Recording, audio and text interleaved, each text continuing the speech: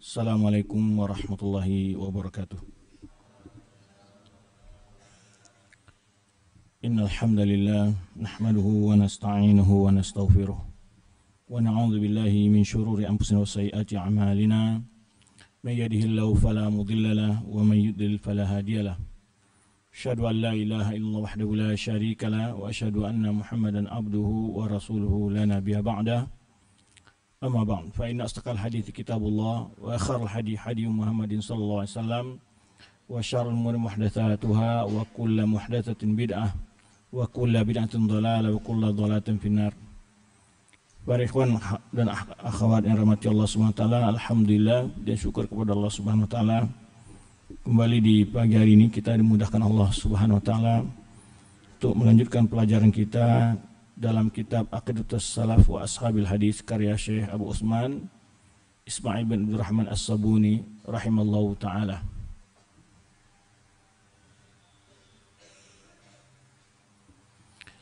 Semoga Allah senantiasa memudahkan kita untuk memahami apa-apa yang dijelaskan oleh mu'alif dalam kitabnya ini dan tak lupa kita tak lupa pula kita memperbanyak ungkapan salam salam buat Nabi kita Muhammad sallallahu alaihi wasallam semoga Allah Subhanahu wa taala senantiasa memberikan kemudahan dan pertolongan kepada kita untuk istiqomah di dalam mengamalkan sunnah beliau Para ikhwan dan para akhwat yang rahmati Allah Subhanahu wa taala. Pembahasan kita masih seputar berbagai riwayat-riwayat dan perkataan para ulama salaf dalam sifatun nuzul. Sebenarnya kita jelaskan di dalam kitab ini mu'alif agak berpanjang lebar membahas pembahasan masalah uh, sifat. Terutama sifat-sifat yang dibahas adalah sifat yang memang banyak sekali diskusi dan syubhat-syubhat yang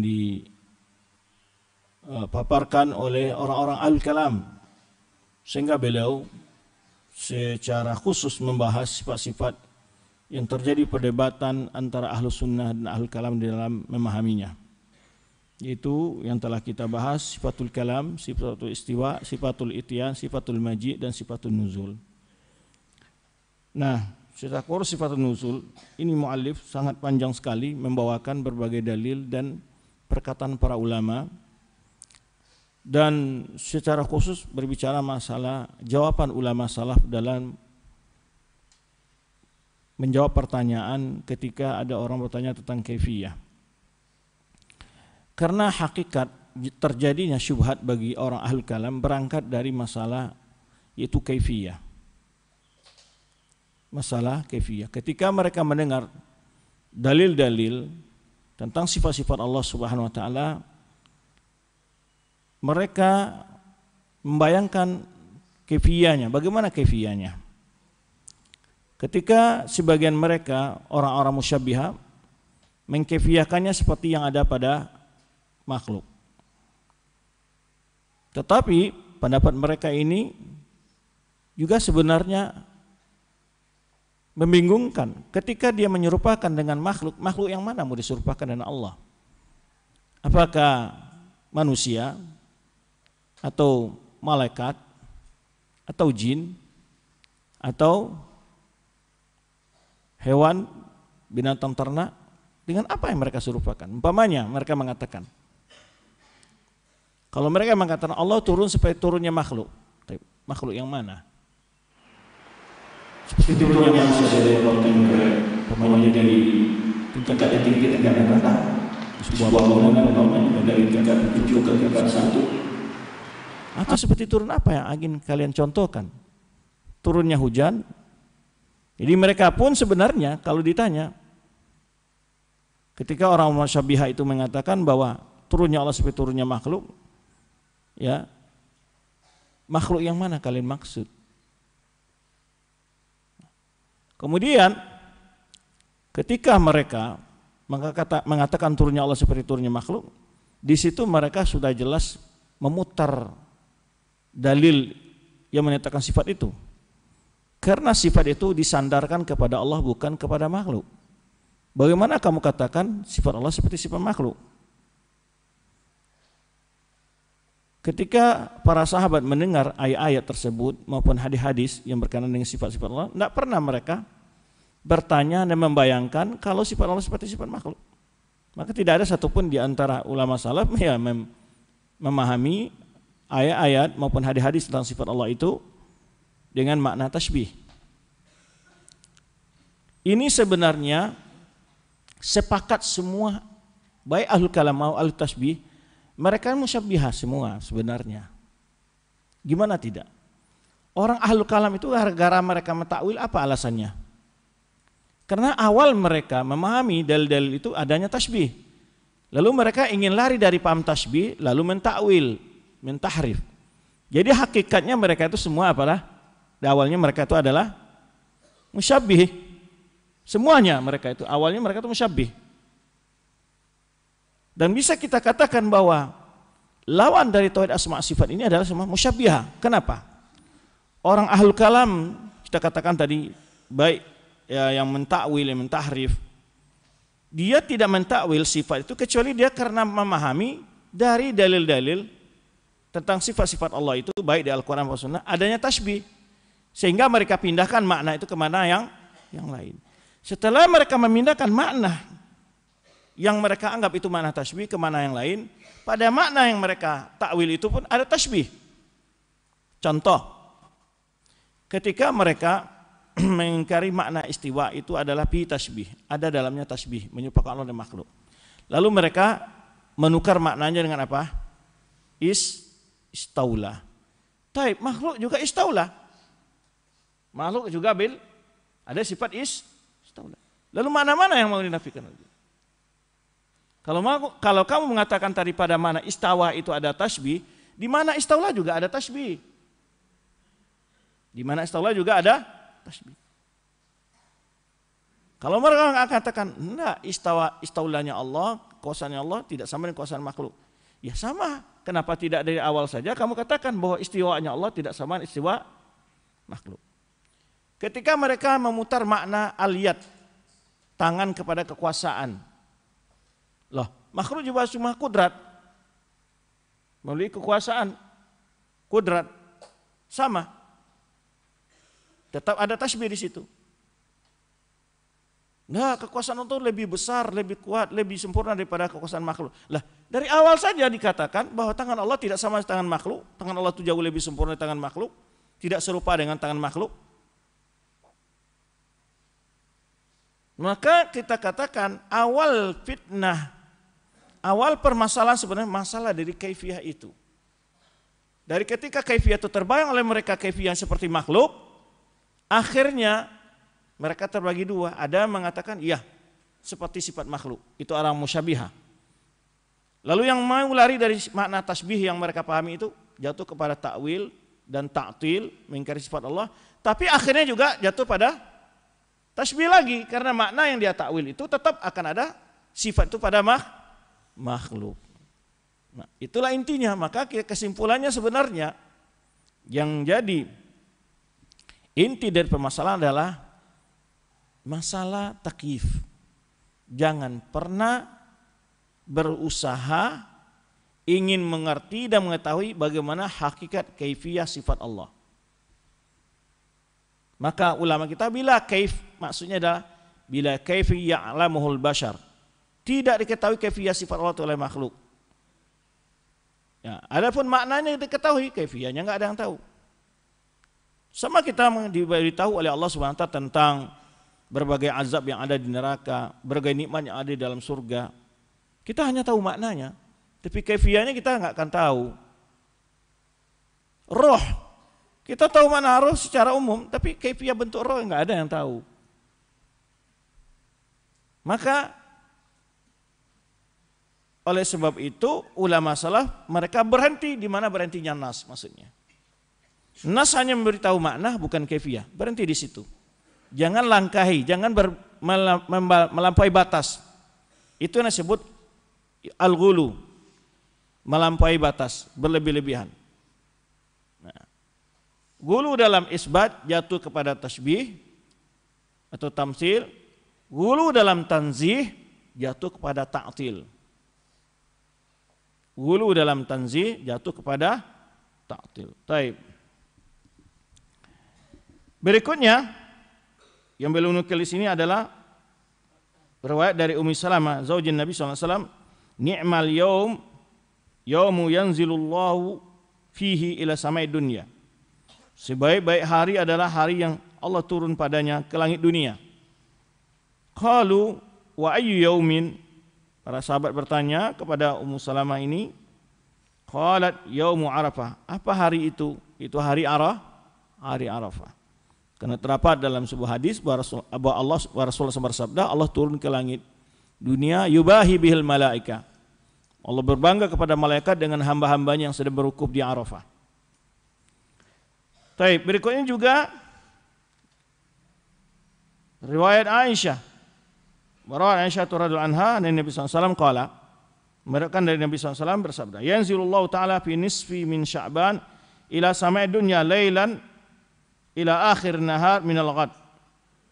Allah turun ke langit dunia pada sepertiga sepertengah eh, pertengahan malam bulan Sya'ban ya di pertengahan malam bulan Sya'ban ke langit dunia ya di malam hari sampai akhir siang besoknya fayatiqu minan nari bi'adi sya'ri ma'zi kalbin maka Allah membebaskan hamba-hamba dari api neraka sebanyak ya rambut atau bulu kambing kabilah kalbin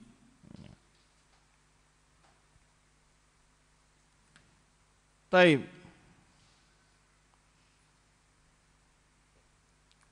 Wa yaktubul hajj. Ya pada hari itu di antaranya juga disebutkan di ada yang penulis takdir dijelasnya siapa yang akan berhaji pada tahun itu.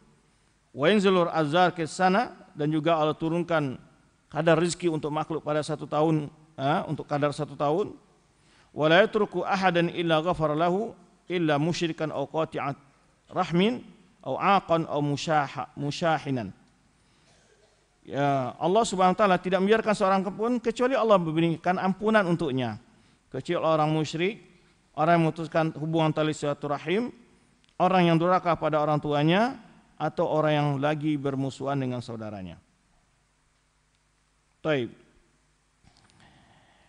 Riwayat berikutnya dari Rifa'ah bin Arabah Al-Juhani qala sadarna ini raja'na ma'a Rasulullah SAW artinya adalah kami kembali bersama Rasulullah SAW dari Mekah maksudnya ke Madinah Faja'al yasta'zin Nabi SAW lalu mereka minta izin kepada Rasulullah SAW ya berhenti di suatu tempat dan bernaung di pohon-pohon yang di perjalanan mereka itu Faja'ala ya'zanu lahum Rasulullah memberikan izin kepada mereka Faqala Nabi SAW lalu Nabi SAW bersabda Ma balu syakis sajarati alladhi yadin Nabi SAW abghadu ilaikum minal akhar. Kenapa pohon-pohon yang dekat kepada Nabi SAW tidak kalian sukai dibanding yang pohon yang lain? Sahabat itu ketika beristirahat dalam perjalanan mencari pohon-pohon yang agak jauh dari Rasulullah SAW. Di sekitar Rasulullah ada pohon-pohon. Alasan mereka apa? Tidak mau mengganggu Rasulullah SAW. Ya, ketika Rasulullah mau istirahat. Bukan karena tidak suka, cuma Rasulullah SAW menyebutkan kenapa kalian menjauh dari setiap pohon yang ada di sekitar Nabi SAW. Ya. Fala qam illa baqiyah. Ketika itu tidak dilihat dari antara mereka yang dikatakan kepada mereka Rasulullah SAW hal seperti itu, mereka menangis. Ya. Qala yaqulu Abu Bakar Siddiq anhu Lalu Abu Bakar Siddiq berkata, setelah itu, innalladzi yasta'dzinuka ba'daha lasafihun. Orang-orang yang masih minta izin kepadamu setelah itu adalah orang-orang yang bodoh. Faqama Nabi SAW fahamidallahu asna alaihi. Lalu Nabi SAW berdiri memuji Allah dan menyanjung Allah. Wa kana idha halafa qal dan Nabi SAW apabila bersumpah dia berkata waladhi nafsi biyadihi. Demi zat yang jiwaku berada di tangannya. Ashadu indallah. Ya aku bersaksi di sisi Allah. Ma minkum min ahadin yu'minu billahi wal yawmil akhir. Tidaklah seorang pun di antara kalian beriman dengan Allah hari akhir. Summa yusaddidu illa sulika bihi fil jannah. Kemudian dia diberikan petunjuk oleh Allah SWT kecuali dia akan masuk surga. Walaqad wa'adani rabbi sungguh Rabbku telah memberikan janji kepadaku ayyudkhila min ummatil jannata sab'ina alfan. Yaitu Allah akan masukkan dari umatku kalang umatku ke dalam surga sebanyak 70 ribu bigari hisabin wala adabin. Tanpa ada hisab dan azab. Wa inilah arju an tadkhulu hatta tatabawwa'u dan aku berharap kalian akan masuk surga itu hatta tatabawwa'u sampai kalian memiliki ya uh, tempat. Wa man salaha min azwajikum ya sampai kalian tabawwa ya mengambil tabawa maq'adu minar ini juga artinya tabawa artinya tatabawwa'u artinya mengambil tempat di surga. Wa man salaha min azwajikum dan juga orang-orang yang soleh ya yang baik di antara istri-istri kalian wa dzurriyyatikum dan anak-anak kalian masakinikum fil jannah hatta tatabau masakinikum masakinakum fil jannah. Maksudnya sampai kalian menempati tempat-tempat kalian di surga ya dan juga bersama anak-anak dan istri-istri kalian. Ini kata Rasulullah kepada sahabat. Summa qala sallallahu alaihi wasallam, kemudian Rasulullah bersabda, "Idza mada syatrul laili au qala thuluthahu." Ini maksud dari hadis ini. Dalam hadis yang panjang ini yaitu ketika itu Rasul menyampaikan juga apabila telah lewat separuh malam atau dua pertiganya yanzilullahu ila samai dunia. Allah turun ke langit du, dunia. Ini yang diambil. Karena hadis ini karena pembahasannya sedang membahas masalah dalil-dalil Allah turun ke langit dunia. Sumayakulu kemudian Allah berfirman la as'alu an ibadi ghairi ya tidak aku tidak ya Aku tidak bertanya tentang hamba-hambaku selainku. Man zalladhi yas'aluni fa'utiyahu. Ya. Barang siapa yang meminta kepadaku, aku akan memberinya.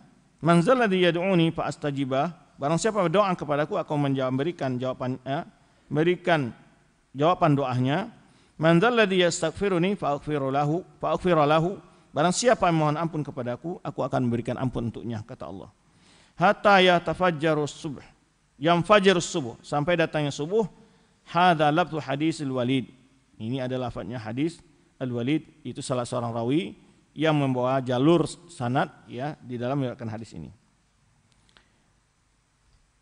Ini semuanya dalil-dalil tentang sifat nuzul bagi Allah yang beliau riwayatkan dari berbagai sahabat yang sebelum beliau sebutkan ada dari Ibnu Abbas, ada Ummu Salamah, ada Aisyah, ada Abu Hurairah dan seterusnya ada Jabir bin Abdullah.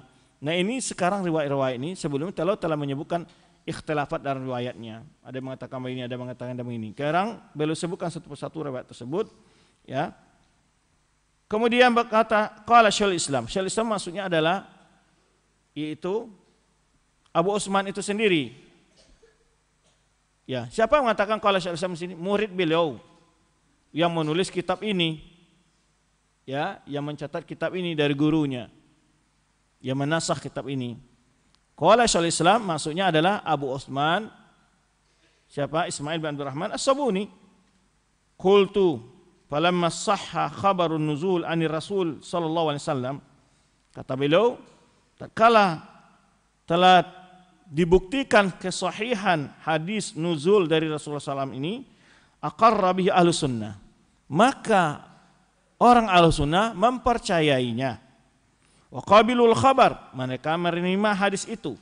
Wa asbatun nuzul ala maqalahu Rasulullah SAW mereka menetapkan sifat nuzul ya sebenarnya yang disampaikan oleh Rasulullah SAW walam ya'taqidu tasbihan lahu.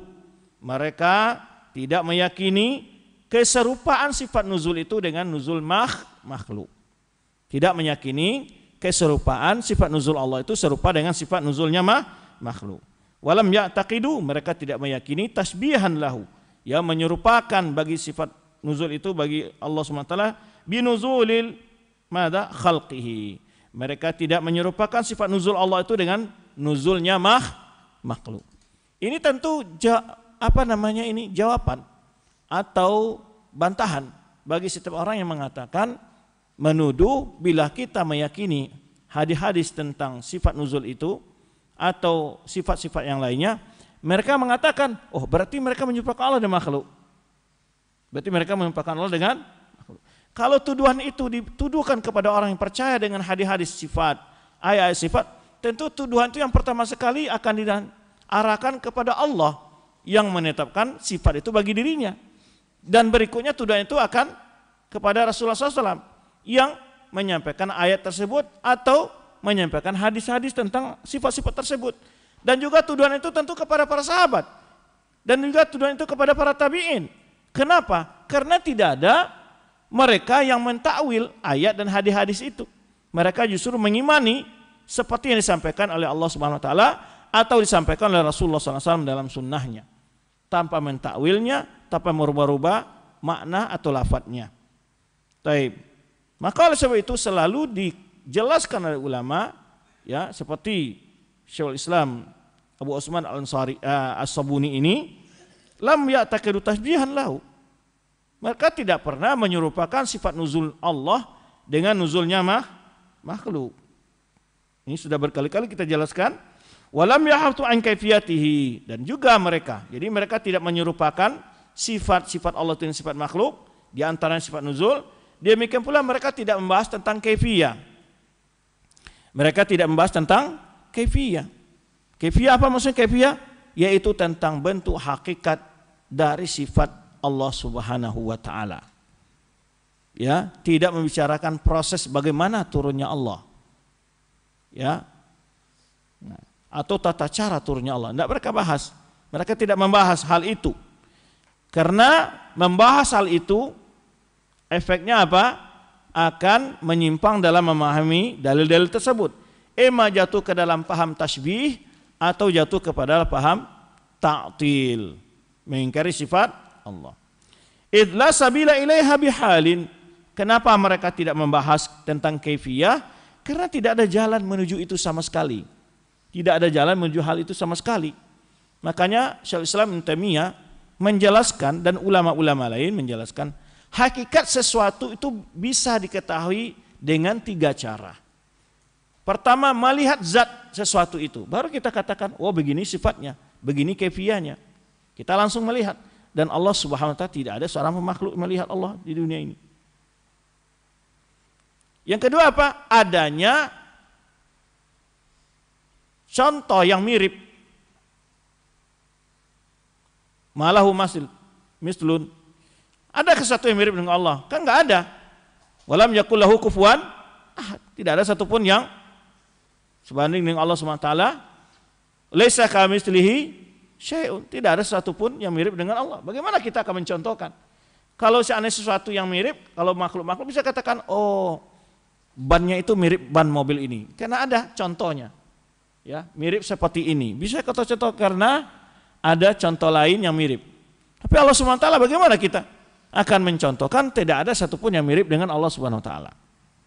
Yang ketiga adanya khabar sahih yang menjelaskan kaifiah ada dalil sahih baik ayat Al-Quran maupun hadis Nabi SAW menjelaskan kefiyah dan itu tidak pernah tidak tidak pernah ada tidak ada ayat menjelaskan tentang kefiyah nuzulnya Allah ataupun hadis yang menjelaskan menjelaskan tentang kefiyah sifat Allah Subhanahu wa taala.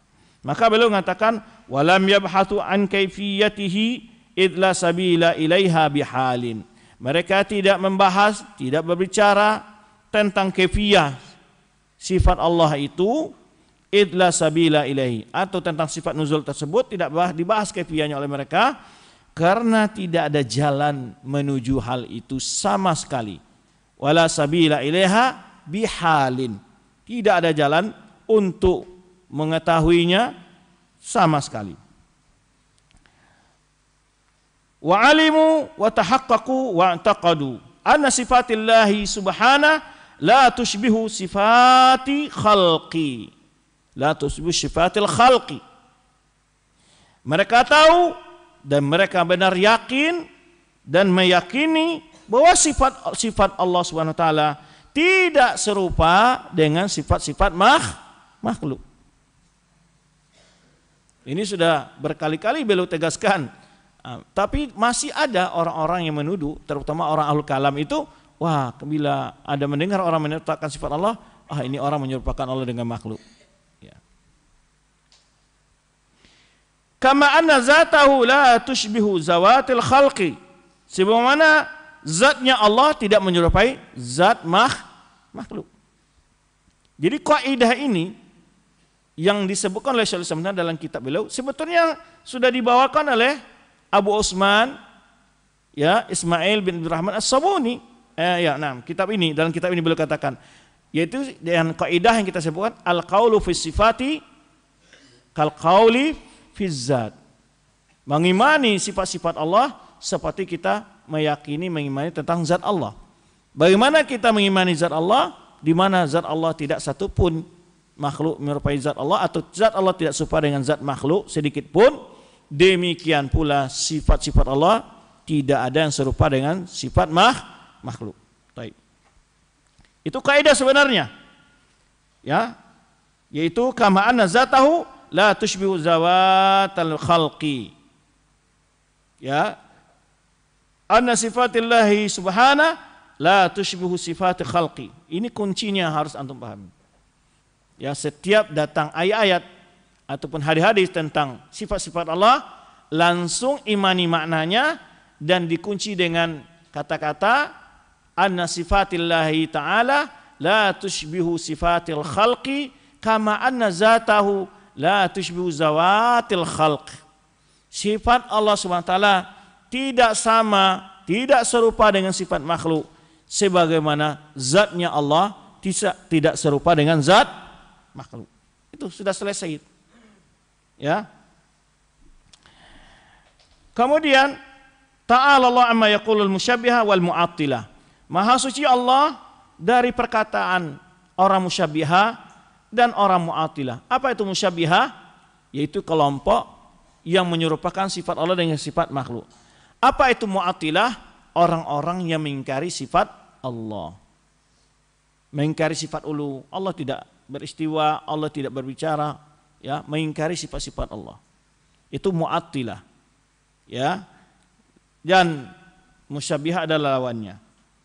Ta'ala Allahu amma yaqul musyabbihatu wal mu'attilatu uduan kabira.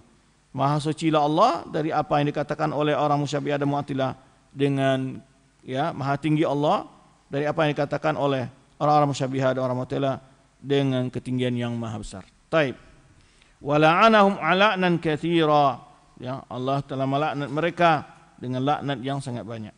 Itu mereka yang menyerupakan sifat Allah ataupun mereka menyerupakan sifat Allah sifat makhluk ataupun mereka yang mengingkari sifat-sifat Allah yang telah Allah tetapkan bagi dirinya dalam Al-Qur'an atau melalui lisan Rasulullah sallallahu alaihi wasallam.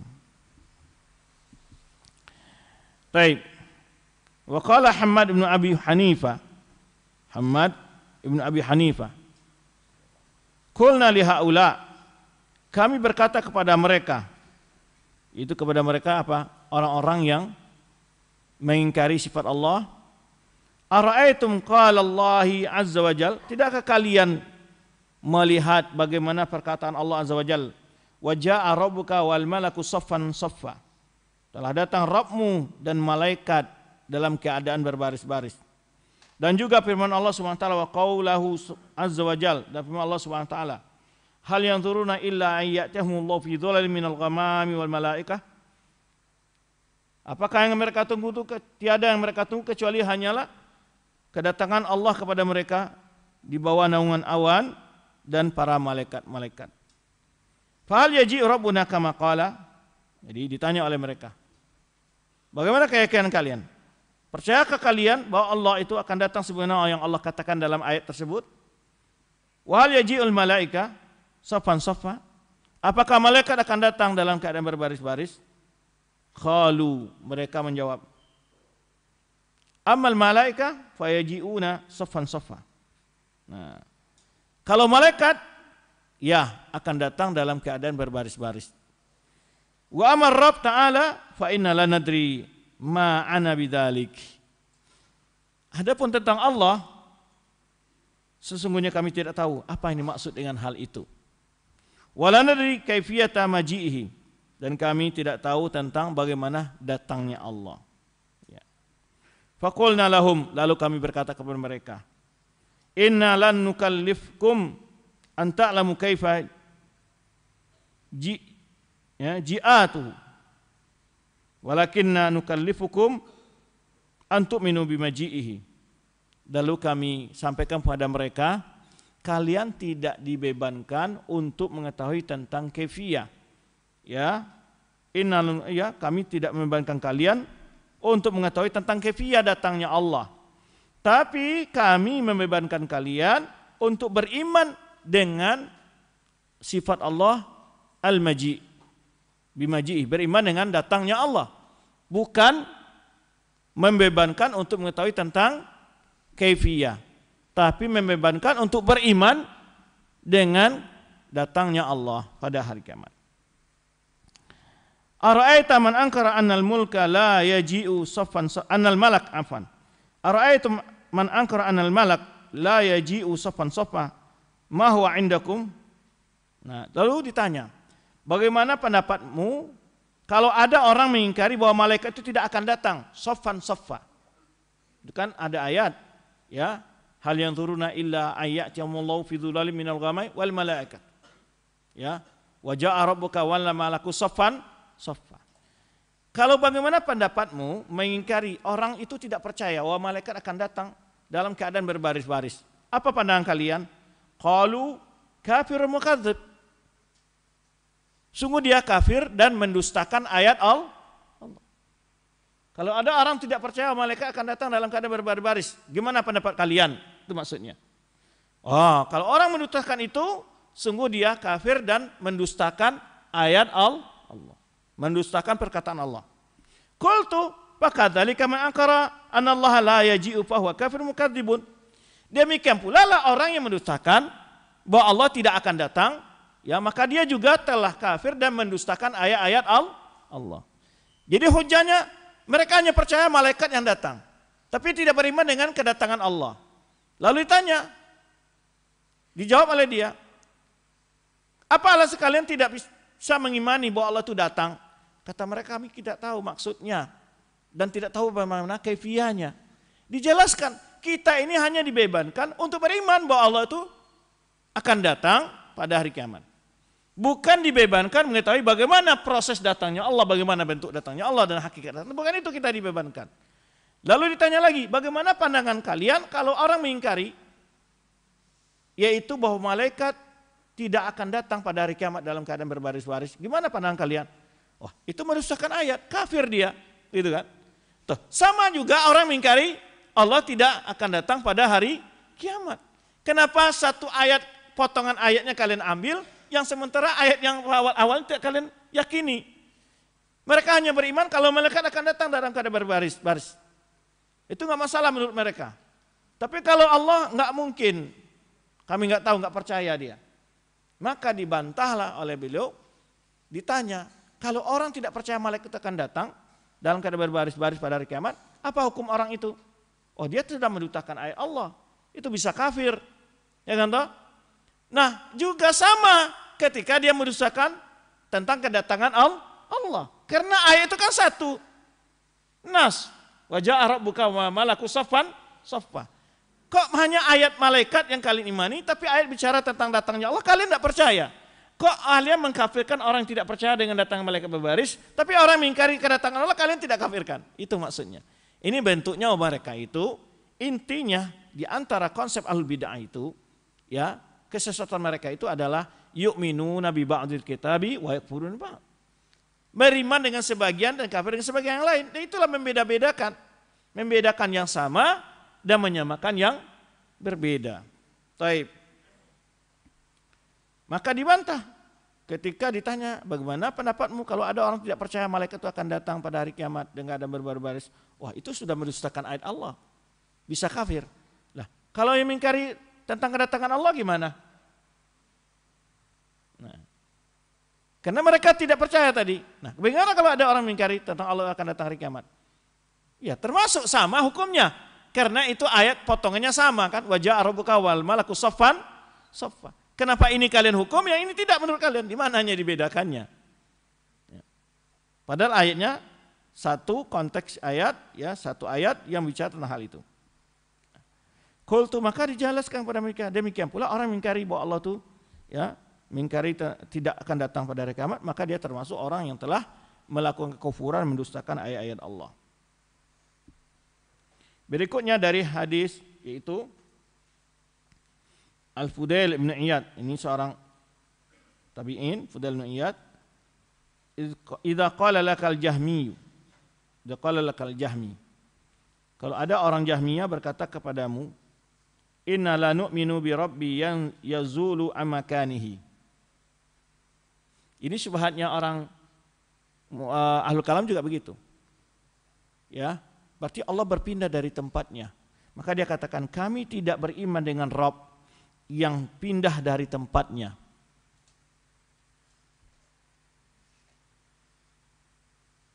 Karena mereka memahami nuzulnya Allah itu seperti nuzul makhluk. Kalau pindah dari tempat berarti pindah tinggal aras gitu maksudnya. Kan kemarin ada pembahasan. Apakah aras itu ditinggalkan ya atau tidak? Kan gitu. Itu kan bicara tentang kifiyah. Maka kalau ada orang ahli kalam berkata kepadamu orang Jahmiyah, saya tidak beriman dengan Rab yang meninggalkan tempatnya. Inna la nu'minu, kami tidak percaya, kami tidak beriman birabbin yazulu an makanihi. Kami tidak beriman dengan Rabb yang meninggalkan tempatnya. Nah, jawabannya apa? Fakul anta. Maka katakan engkau kepada mereka, jawabanmu apa? Ana u'minu bi rabbin yaf'alu ma yasha. Aku beriman dengan Rabb ya yang melakukan apa yang ia kehen kehendaki. Kan itu kehendak Allah. Kalau dia mengatakan tadi saya tidak percaya dengan Rabb yang pindah dari tempatnya. Jawablah aku beriman dengan Rabb yang berbuat apa yang dia kehen, kehendaki. Allah yaf'alu ma yurid. Ya. Kalau dia tujuannya mengatakan aku tidak beriman dengan Rabb yang meninggalkan tempatnya apa maksudnya? Ingin mengingkari sifat Allah di antara sifat nu, nuzul atau sifatul maji atau sifat it, ityan. Karena menurut mereka zat sifat-sifat tersebut ya lazimnya Allah berpindah-pindah dari tempat ke tempat. Itu syubhatnya kata mereka. Nah karena mereka mengkiaskan sifat Allah dan sifat mah, makhluk. Di mana kalau dia pergi ke tempat lain berarti tempat yang semula ditinggalkannya kan begitu itu kan sifat siapa begitu sifat makhluk sifat makhluk maka dia mengatakan, aku tidak mau beriman. Ya, kami tidak beriman dengan Rabb yang meninggalkan tempatnya. Maka jawablah olehmu, nahnu nu'minu inna nu'minu bi rabbin yaf'alu ma yasha. Aku beriman dengan Rabb yang berbuat apa yang ia hendaki. Itu kan masyiatillah. Kemudian bahasan berikutnya adalah tentang ru'yatullah. Ini semuanya adalah pembahasan-pembahasan yang berkenaan dengan apa? ya sifat-sifat Allah yang diingkari oleh orang-orang ahli kalam. Jadi sifat yang sangat panjang perdebatan itu di antaranya adalah sifatul kalam dan sifatul ru'yah. Itu dan banyak pendapat di situ. Kalau sifatul kalam itu kalau nggak salah ada delapan pendapat. Demikian pula hampir ah, kalau sifat ru'yah kalau nggak salah ada enam.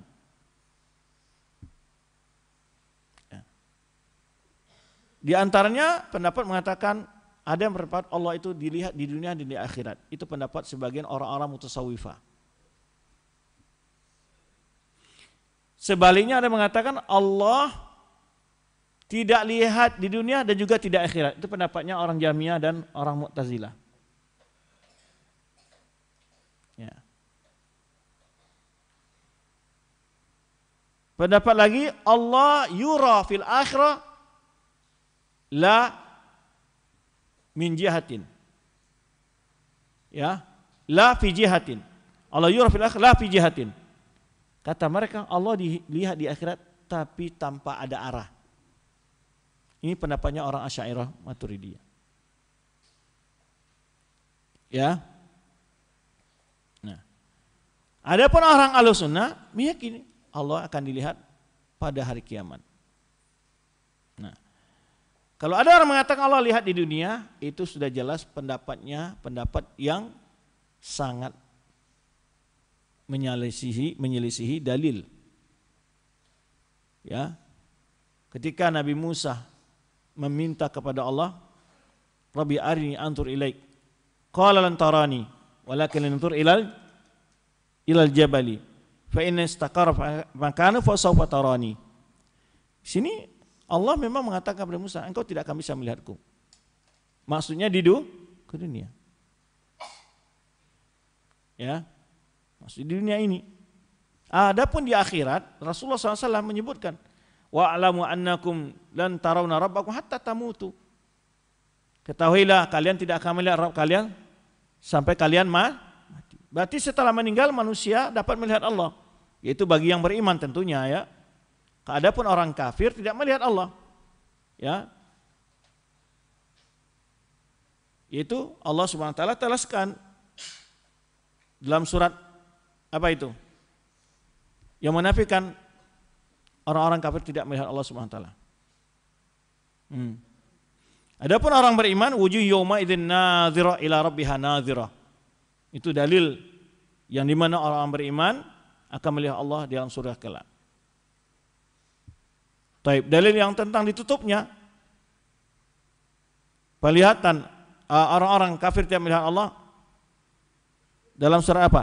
Siapa yang dapat menyebutkan dalilnya? Hmm. Di juz 30. Hmm? Dalam hadis juga Rasul menyebutkan innakum satarawna rabbakum kama tarawna al-qamara lailatal badri. La tadamuna fi ru'yatihi. Sungguh kalian akan melihat Rabb kalian pada hari kiamat sebagaimana kalian melihat bulan purnama ya melihat bulan di malam purnama tidaklah saling melikuti atau menutupi antara satu kalian dengan yang lainnya. Banyak sekali dalil-dalil tentang ru'yatullah. Orang Asyairah kenapa dia mengatakan atau orang Kulabiyah dan orang-orang Maturidiyah mengatakan bahwa Allah itu dilihat di akhirat tapi tanpa jihah, tanpa arah. Karena mereka tidak meyakini Allah bersifat ulu. Dia meyakini Allah itu memiliki sifat ulu, yaitu memiliki sifat Allah maha tinggi di atas semua makhluk. Di mereka mengatakan yurala pijiha. Allah dilihat tapi tidak ada arahnya. Taib. Itu ringkasan di antara ya pendapat dalam masalah ru'yatullah yaumal qiyamah. Taib. Ru'yatul mu'minin lillahi fil akhirah yaitu tentang pembahasan orang-orang beriman melihat Allah di akhirat. Warawa Yazid bin Harun fi majlisi hadis Ismail bin Abi Khalid Ibn Abi Khalid an Qais bin Abi Hazim an Jarir Ibn Abdullah fi itu bahwa Harun bin Yazid ya, Yazid bin Harun meriwayatkan dalam majlis hadis yang menjelaskan tentang ru'yatullah ya. Wa qauli Rasulullah sallallahu yaitu sabda Nabi SAW atau sabda Rasulullah SAW innakum tanzuruna ila rabbikum. Kalian akan melihat kepada Rabb kalian kama tanzuruna ila al-qamari lailatal badri. Sebenarnya kalian melihat kepada bulan di malam purnama artinya di sini bukan menyerupakan Allah dengan bulan purnama. Bukan kalian melihat Allah seperti bulan purnama maksudnya. Pahami nas hadisnya. Bukan disebutkan bahwa kalian melihat Allah seperti bulan purnama. Tapi kalian akan melihat Allah ya akan melihat kepada Allah seperti kalian melihat bulan purnama di bulan di malam purnama di malam purnama atau kepada bulan di malam purnama atau bulan purnama. Yang dimaksud di sini adalah bagaimana posisi orang dalam melihat Allah, kejelasannya. Bukan mengatakan Allah seperti bulan purnama. Ya. Maksudnya apa? Yaitu bahwa Allah itu dilihat oleh semua orang yang beriman tanpa ada yang dapat menutupi yang lain. Bulan purnama ketika terbit semua orang dapat melihatnya. Yang kedua bahwa Allah itu dilihat min jihatil ulu, bahwa Allah itu berada di tempat yang tinggi. Kalau Allah di tempat yang tinggi karena itulah Allah dilihat oleh semua orang karena posisi Allah dilihat dari jihad ulu di tempat yang tinggi. Itu maksudnya. Tasbih ru'ya bir ru'ya, la tasbih mar'i bil mar'i, kalau ulama mengatakan. Di situ yang diserupakan adalah bagaimana cara orang melihat Allah dengan cara orang melihat bulan purnama. Bukan mengatakan Allah seperti bulan purnama. Paham ya? Dengan salah memahami hadis. Jadi kata Rasulullah SAW, Innakum tanzuruna ila rabbikum, kalian akan melihat Rabb kalian kama tanzuruna ilal qamari jadi sama an-nazar yang disebutkan sih kama tanzuruna sebagaimana kalian melihat kepada bulan purnama. Ilal qamari lailatul badri ya kepada bulan di malam purnama. Ya yang diserupakan cara melihatnya bukan menyerupakan yang dilihat.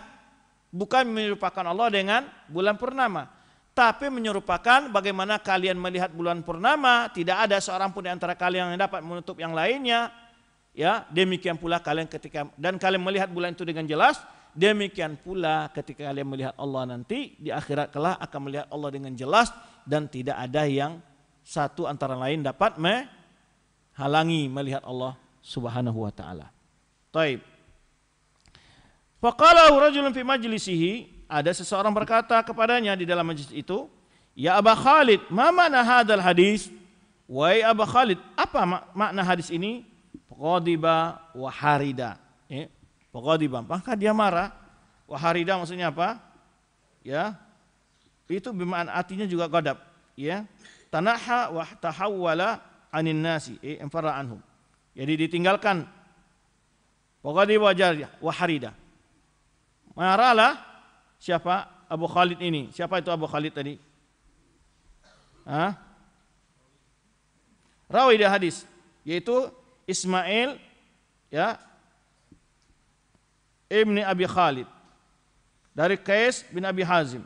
Dia ini bertanya kepada dia bertanya kepada rawi ya bagaimana maknanya? Wa qala lalu dijawab oleh Abu Khalid ini wa ma ashbahaka bisabirin.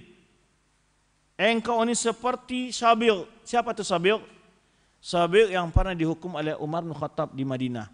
Yang kerjanya mempertanyakan ayat-ayat mutasyabihat. Sehingga dihukum oleh Umar Mukminin dengan dipukul kepalanya dengan pelepah korma.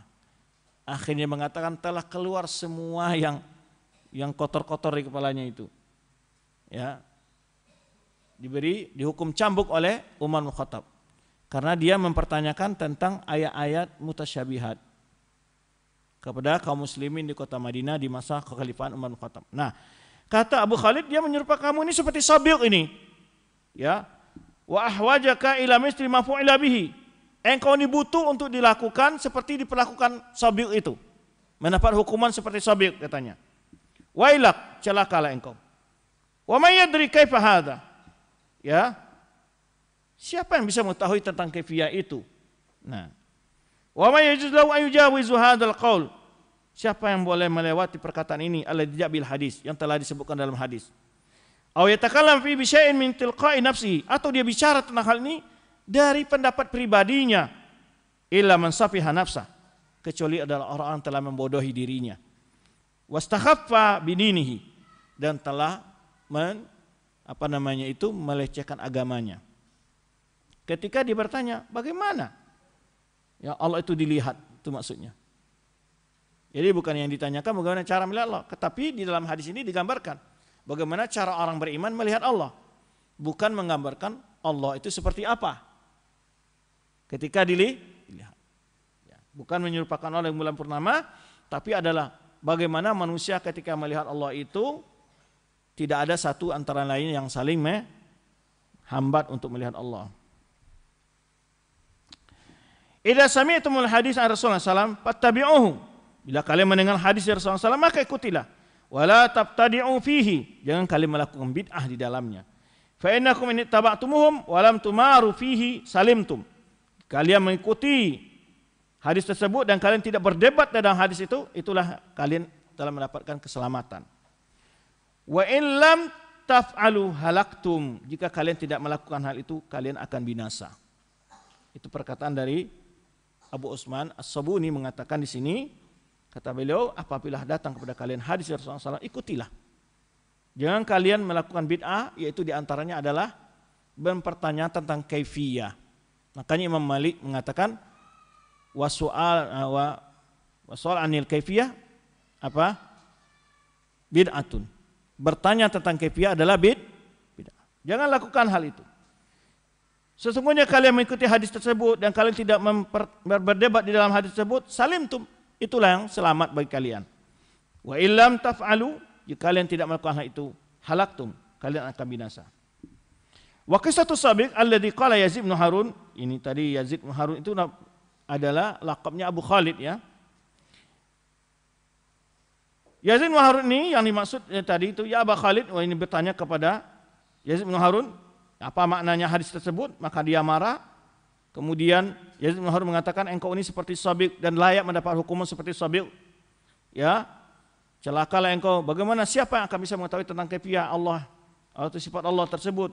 Ya, dan siapa yang membolehkan baginya untuk melewati ya perkataan ya melewati uh, apa yang terdapat dalam hadis ini atau bolehkah dia berbicara atau berbicara tentang halnya hal itu sesuatu yang dari pendapat pribadinya kecuali orang telah membodai dirinya dan telah melecehkan agamanya. Kemudian kisah Sabiq ini siapa? Berkata Yazid bin Harun kepada orang yang bertanya tersebut, "Ma asbahaka bi Sabiq?" Ya, engkau ini mirip sekali dengan Sabiq. Wa ahwajaka ila misli ma fu'ila bi. Engkau ini butuh mendapatkan hukuman yang telah diberikan kepada Sabiq tersebut. Hiya marawahu Yahya bin Sa'id an Sa'id bin Musayyib yaitu diriwayatkan oleh Yahya bin Sa'id. Dari Sa'id bin Musayyib bahwa Sabiqan At-Tamimi yaitu Sabiq At-Tamimi ini ata Amirul Mukminin datang menemui Umar bin Khattab Amirul Mukminin Umar bin Khattab radhiyallahu anhu. Faqala ya Amirul Mukminin lalu dia berkata kepada Umar bin Khattab akhbirni anid dzariyati dzarwa oh, dia tanya apa maksudnya ayat dzariyati dzarwa Qala Umar hiya riyah yaitu angin.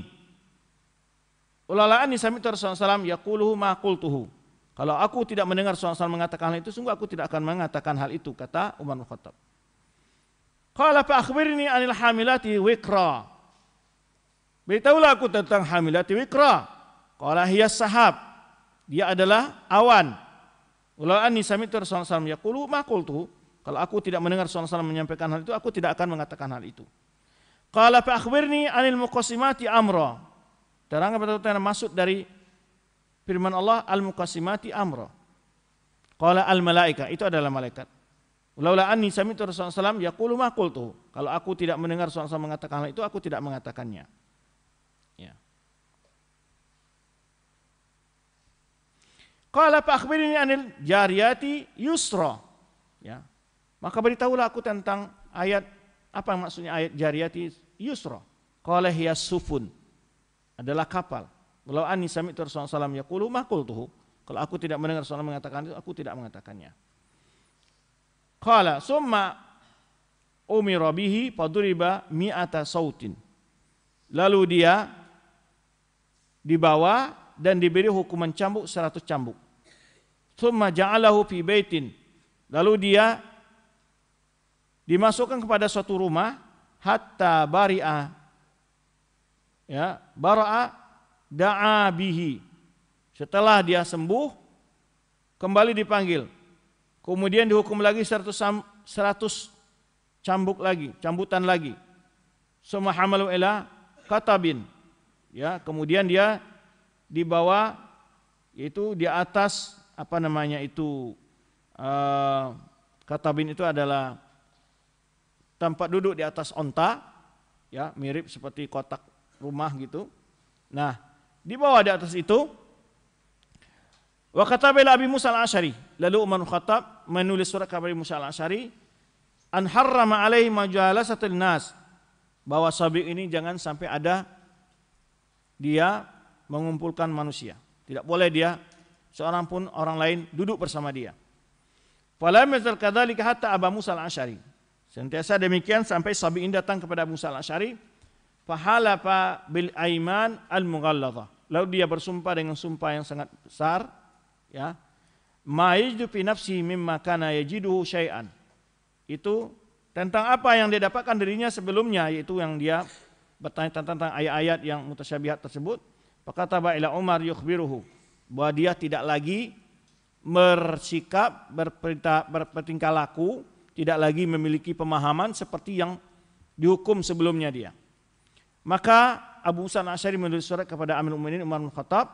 Maka Umar bin Khattab menulis kepadanya ma ikhaluhu illa qad sadaq. Ya.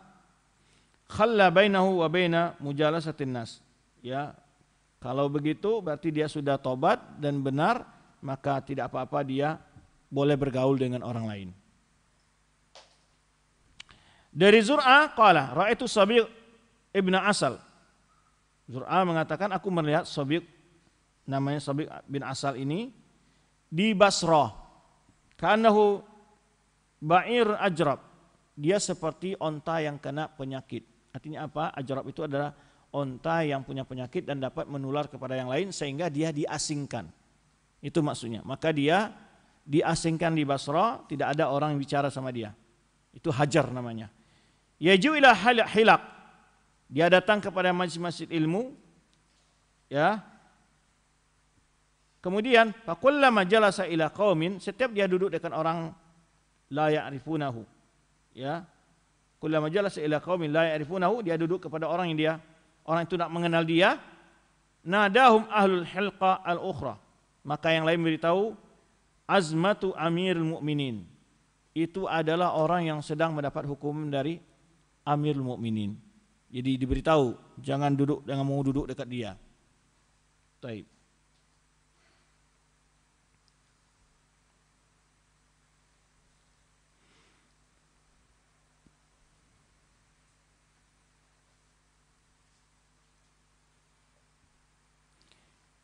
Ada satu riwayat menyebutkan dari sini dari Sulaiman bin Jasar, anna rajulan Bani Tamim, ada seorang dari Bani Tamim yang namanya disebut Sabil datang ke Madinah, pakan indahu kutubun. Faja'ala yas'al an mutasyabihil Quran. Maka dia memiliki sebuah buku dan dia bertanya-tanya tentang ayat-ayat mutasyabihat. Fabalagha dzalika Umar. Jadi kalau yang tadi kan dia yang bertanya kepada Umar, tapi sanad hadis itu didoaifkan. Yang sahihnya dia bertanya lalu sampai Umar memberitahu bahwa tahu ya, mendapatkan kabar bahwa dia ini mencari ayat-ayat mutasyabihat bertanya-tanya kepada orang. Fabu Isa ilaihi lalu Umar mengirim seseorang kepadanya waqad adalahu arajinan nakhl. Telah disiapkan baginya lidi-lidi atau pelepah korma. Ya. Falamma khalaihi jalas. Ketika sahabat telah datang menemui Umar bin Khattab dia duduk. Faqala man anta? Siapa kamu ini? Ana Abdullah Sabiq. Saya adalah hamba Allah Sabiq. Qala Wa ana Abdullah Umar. Saya ini adalah hamba Allah Umar. Summa ahwa ilaihi faja'ala yadribuhu bitilkal arajin. Kemudian Umar memberikan hukum kepadanya dengan mencambuknya dengan apa? Uh, lidi-lidi korma tersebut atau pelepah korma tersebut. Wa zala yadribu hatta syajjahu. Sementara dipukul terus oleh mukminin sampai dia luka faja'ala dam yasilu ala wajhi. Kemudian ada darah yang menetes di wajahnya Kemudian dia berkata, "Hasbuka ya amil mu'minin." Cukup hai amil mu'minin, Fakat wallahi zahba ma kuntu ajidu fi ra'si. Sungguh demi Allah telah hilang apa yang aku dapatkan dalam kepalaku. Maksudnya syubhat-syubhat yang ada dalam kepalanya. Ikhtasarat ha ini ringkasan dari riwayat tentang cerita sabik tersebut. Taib. Itu dalam eh, eh, hadis kisah ini yang dimaksud ingin diambil adalah yaitu tentang orang-orang yang melakukan penakwilan-penakwilan ataupun sikap dalam menanggapi orang-orang yang menentang ayat-ayat mutasyabihat. Ya, atau mencari takwil-takwil ayat-ayat mutasyabihat yang menyebabkan dia akan ragu dalam mengimani ayat-ayat tersebut. Maka akhir contohnya yang dilakukan Amir Mukminin adalah memberikan hukum kepada orang tersebut. Ini maksudnya adalah sikap tegas para sahabat Nabi terhadap orang-orang yang apa?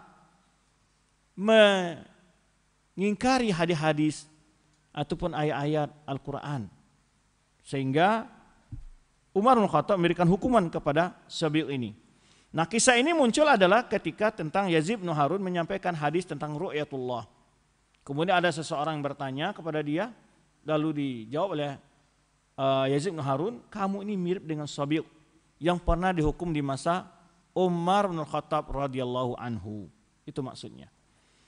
Dan di dalam hadis kisah ini terdapat sikap tegas ya seorang pemimpin kepada orang-orang yang merusak ya dalam ajaran agama ini. Taib. Pembahasan berikutnya adalah tentang apa? Termasuk bisunnah wasnabul bidah. Jadi beliau setelah selesai membahas beberapa sifat. Sifatul kalam, sifatul istiwa, sifatul maji wal itian, wa nuzul dan sifatul ru'yah. Karena sifat-sifat inilah yang banyak diingkari oleh orang ahlul kalam dan terjadi perdebatan di dalamnya. Berikut beliau menyebutkan tentang pentingnya berpegang teguh dengan sunnah dan menjauhi bid'ah. Sungguh hal ini banyak sekali dalil-dalilnya sebenarnya. Ya. Di antaranya adalah bid'ah itu sebenarnya adalah syubhat. Mana ayat menjelaskan itu wala tabisul haqqa bil batil. Jangan kamu campur adukan antara hak dengan yang batil. Karena munculnya bid'ah dari sini mencampur adukan antara hak dan yang batil. Bid'ah itu tidak murni batil tampaknya. Karena kalau murni batil tidak akan ada orang mau melakukannya. Jadi ada sisi benarnya di situ, tapi bercampur dengan kebatilan. Di sisi batilnya ada di situ bercampur dengan kebenaran. Itulah bid'ah. Itulah mutasyabihat. Makanya Allah katakan wala tabisul haqqa bil batil wa taktumul haqqa wa antum ta'lamun mencampur adukan antara hak dengan yang bah, yang batil. Ini tahzir dengan bid'ah. Dan juga ya ahli kitab la taghlu fi dinikum. Dan juga di antara penyebab lahirnya bid'ah adalah berlebih-lebihan di dalam beragama. Ya. Penyimpang itu masuk dari gulu. Gulu ini apa maksudnya gulu? Dia ingin melakukan agama tapi melampaui batas yang disyariatkan. Ya, seperti mana hadis yang kita sampaikan ketika ada tiga orang datang kepada salah seorang istri Rasulullah SAW, kemudian dia mendengar begitu besarnya da, uh, ibadah Rasulullah SAW, lalu mereka mengatakan, di antara mereka mengatakan saya berpuasa tidak mau berbuka. Nah, berpuasa itu syariatkan. Tapi ketika dia mengatakan tidak mau berbuka, ini sudah menyelisihi syariat. Melebihi batas. Karena Allah tidak memerintahkan kita seperti itu. Nah, lalu yang mengatakan lagi saya akan qiyamul lail tidak mau tidur. Nah, ini juga nggak boleh karena Allah juga tidak meminta kepada kita untuk menyiksa diri kita.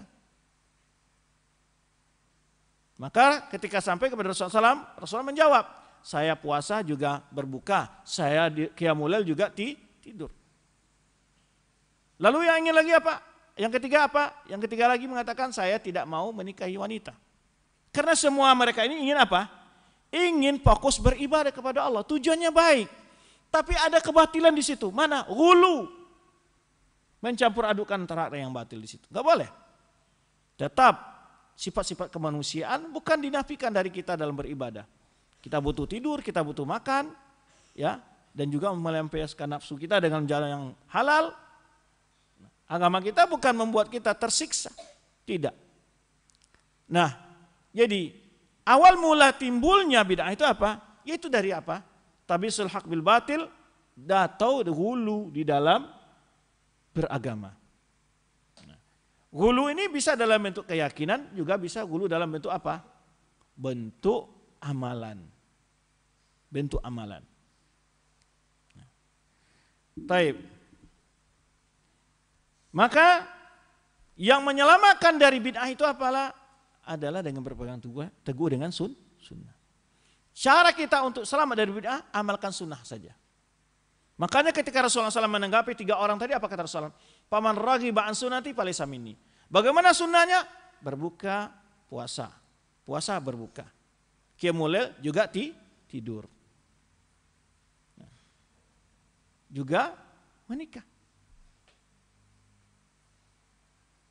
Maka Rasul menyebut di akhir hadis, "Paman ragi an sunnati falaysa minni." Orang yang enggan melaksanakan sunnahku tidak termasuk golonganku kata Rasulullah wasallam. Maka cara yang paling aman selamat dari bid'ah lakukan sunnah. Lakukan sunnah. Baik dalam berzikir, baik dalam berselawat atau ibadah apa pun pun saja. Tiru pelaksanaannya bagaimana Rasulullah SAW melaksanakan. Cukup itu. Kalau over berlebihan jatuh kepada bid'ah. Ya, maka ini yang perlu dihati-hati. Dan bid'ah ini lebih disenangi oleh iblis daripada maksiat. Makanya Sufyan Sauri mengatakan kenapa bid'ah lebih dicintai oleh iblis? Karena kalau bid'ah ini sulit orang bisa tobat dari bid'ah. Tapi kalau maksiat banyak orang bisa tobat dari maksiat. Kenapa bisa tobat? Karena dia tahu perbuatan adalah perbuatan yang salah, pelakunya berdosa. Dia tahu. Tapi kalau bid'ah pelakunya tidak merasa bersalah. Tidak merasa berdosa melakukannya. Karena dia pandang itu adalah aga, agama. Di baliknya ada pahala. Itu mereka pandang dalam bid'ah. Maka oleh sebab itu semua alur bid'ah memandang bid'ahnya itu hasanah. Semua alur bid'ah memandang bid'ahnya hasanah. Baik, maka cara paling selamat adalah pegang erat sunnah Rasulullah SAW. Bagaimana kalau kita akan bisa pegang erat sunnah kalau kita tidak belajar? Maka pelajari bagaimana sholatnya Rasulullah SAW, bagaimana puasanya Rasulullah SAW, bagaimana qiyamul Rasulullah SAW, bagaimana kiraatul Qur'annya Rasulullah SAW. Pelajari dan amalkan. Cukup seperti yang diamalkan Rasulullah SAW. Tidak perlu ditambah dan tidak perlu dikurangi. Pernah kisah yang berlebih-lebihan contoh mulai dalam hadis Nabi SAW ketika Salman Al-Farisi menziarahi Abu Darda. Sampai di rumah Abu Darda, Salman Al-Farisi melihat istrinya dalam keadaan tidak berhias. Lalu ditanya oleh, kenapa Salman Al-Farisi dengan Abu Darda?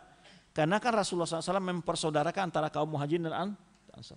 Nah mereka ini yang dipersaudarakan adalah Salman dan Abu Darda ini. Ketika datang ke rumah Abu Darda, melihat istrinya tidak berhias. Lalu ditanya, kenapa? Sesungguhnya saudaramu Abu Darda tidak ada lagi rokbah, tidak ada hasrat. Nah, lalu baru ya sepertiga malam pertama belum tidur, Abu Darda sudah mau sholat malam. Apa kata Salman? Enam Ya kan? Kemudian ya atau dan ini pertama sampai Abu Dada menghidangkan makanan untuk Salman Farisi. Lalu ketika Salman menawarkan Abu Dada, dia sedang puasa. Di malam harinya baru sepertiga awal sudah mau sholat qiyamul lail. Disuruh tidur Abu Darda oleh Salman Farisi. Kemudian separuh malam bangun lagi Abu Darda disuruh tidur lagi oleh Salman Farisi. Sepertiga malam terakhir Salman Farisi bangun wal ankum. Sekarang soli. Kalau sekarang waktunya salat. Nah, di pagi hari Salman Farisi berkata kepada Abu Darda, "Inna li nafsika alaika haqqun. Wali ahlika alaika haqqun, wali daifika alaika haqqun." Sungguhnya dirimu punya hak atasmu Sesungguhnya keluargamu punya hak atasmu. Sesungguhnya tamumu punya hak atasmu. Fa'ti haqqin haqqah. Berikanlah setiap pemilik hak itu hak masing-masing. Istri punya hak, dirimu juga punya hak, tamumu juga punya punya hak. Ya. Maka ya Kisah itu disampaikan oleh Abu Darda kepada Rasulullah SAW. Apa kata Rasulullah? Sadaqah Salman. Benar. Salman. Maka ini salah satu hadis takriria namanya. Rasulullah membenarkan sikap sahabat yang beri nasihat kepada saudaranya sama muslim. Maka tidak boleh berlebih-lebihan. Betul. Ya. Kalau dalam keyakinan contohnya seperti orang-orang tadi orang musyabihah. Berlebihan dalam menetapkan sifat Allah jatuh kepada tasbih. Orang mu'atilah berlebihan dalam mensucikan Allah akhirnya mengingkari sifat Allah. Nah, ini yang tidak boleh dalam Islam yaitu gulu dan berlebih-lebihan. Taib.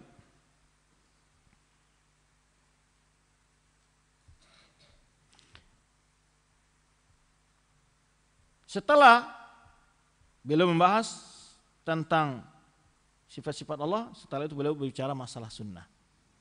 Karena semua penyimpangan-penyimpangan ini berasal daripada meninggalkan sunnah. Ketika Rasulullah SAW menyebutkan akan terpecah belah umat ini, akan berselisih umat ini.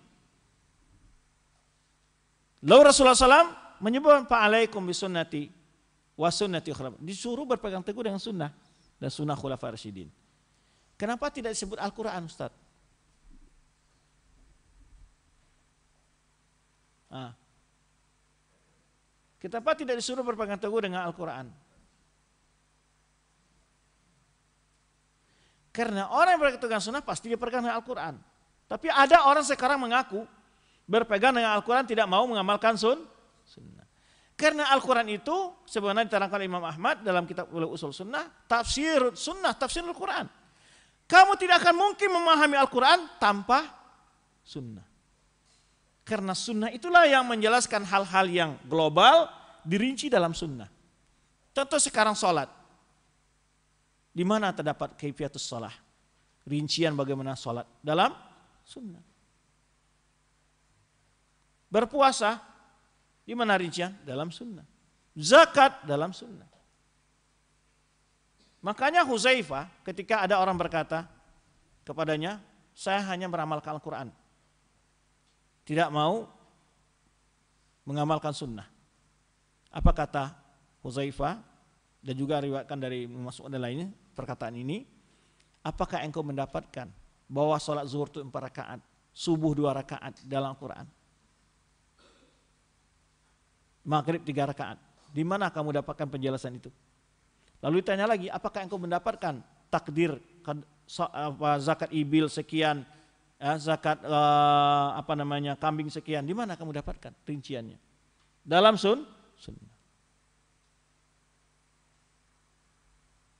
Maka oleh sebab itu hadis-hadis kalau menjelaskan kita ketika memperingatkan terjadinya perbedaan-perbedaan di dalam umat ini, menasihatkan Rasulullah memberikan nasihat kepada umatnya untuk berpegang teguh dengan sunnah Rasulullah SAW.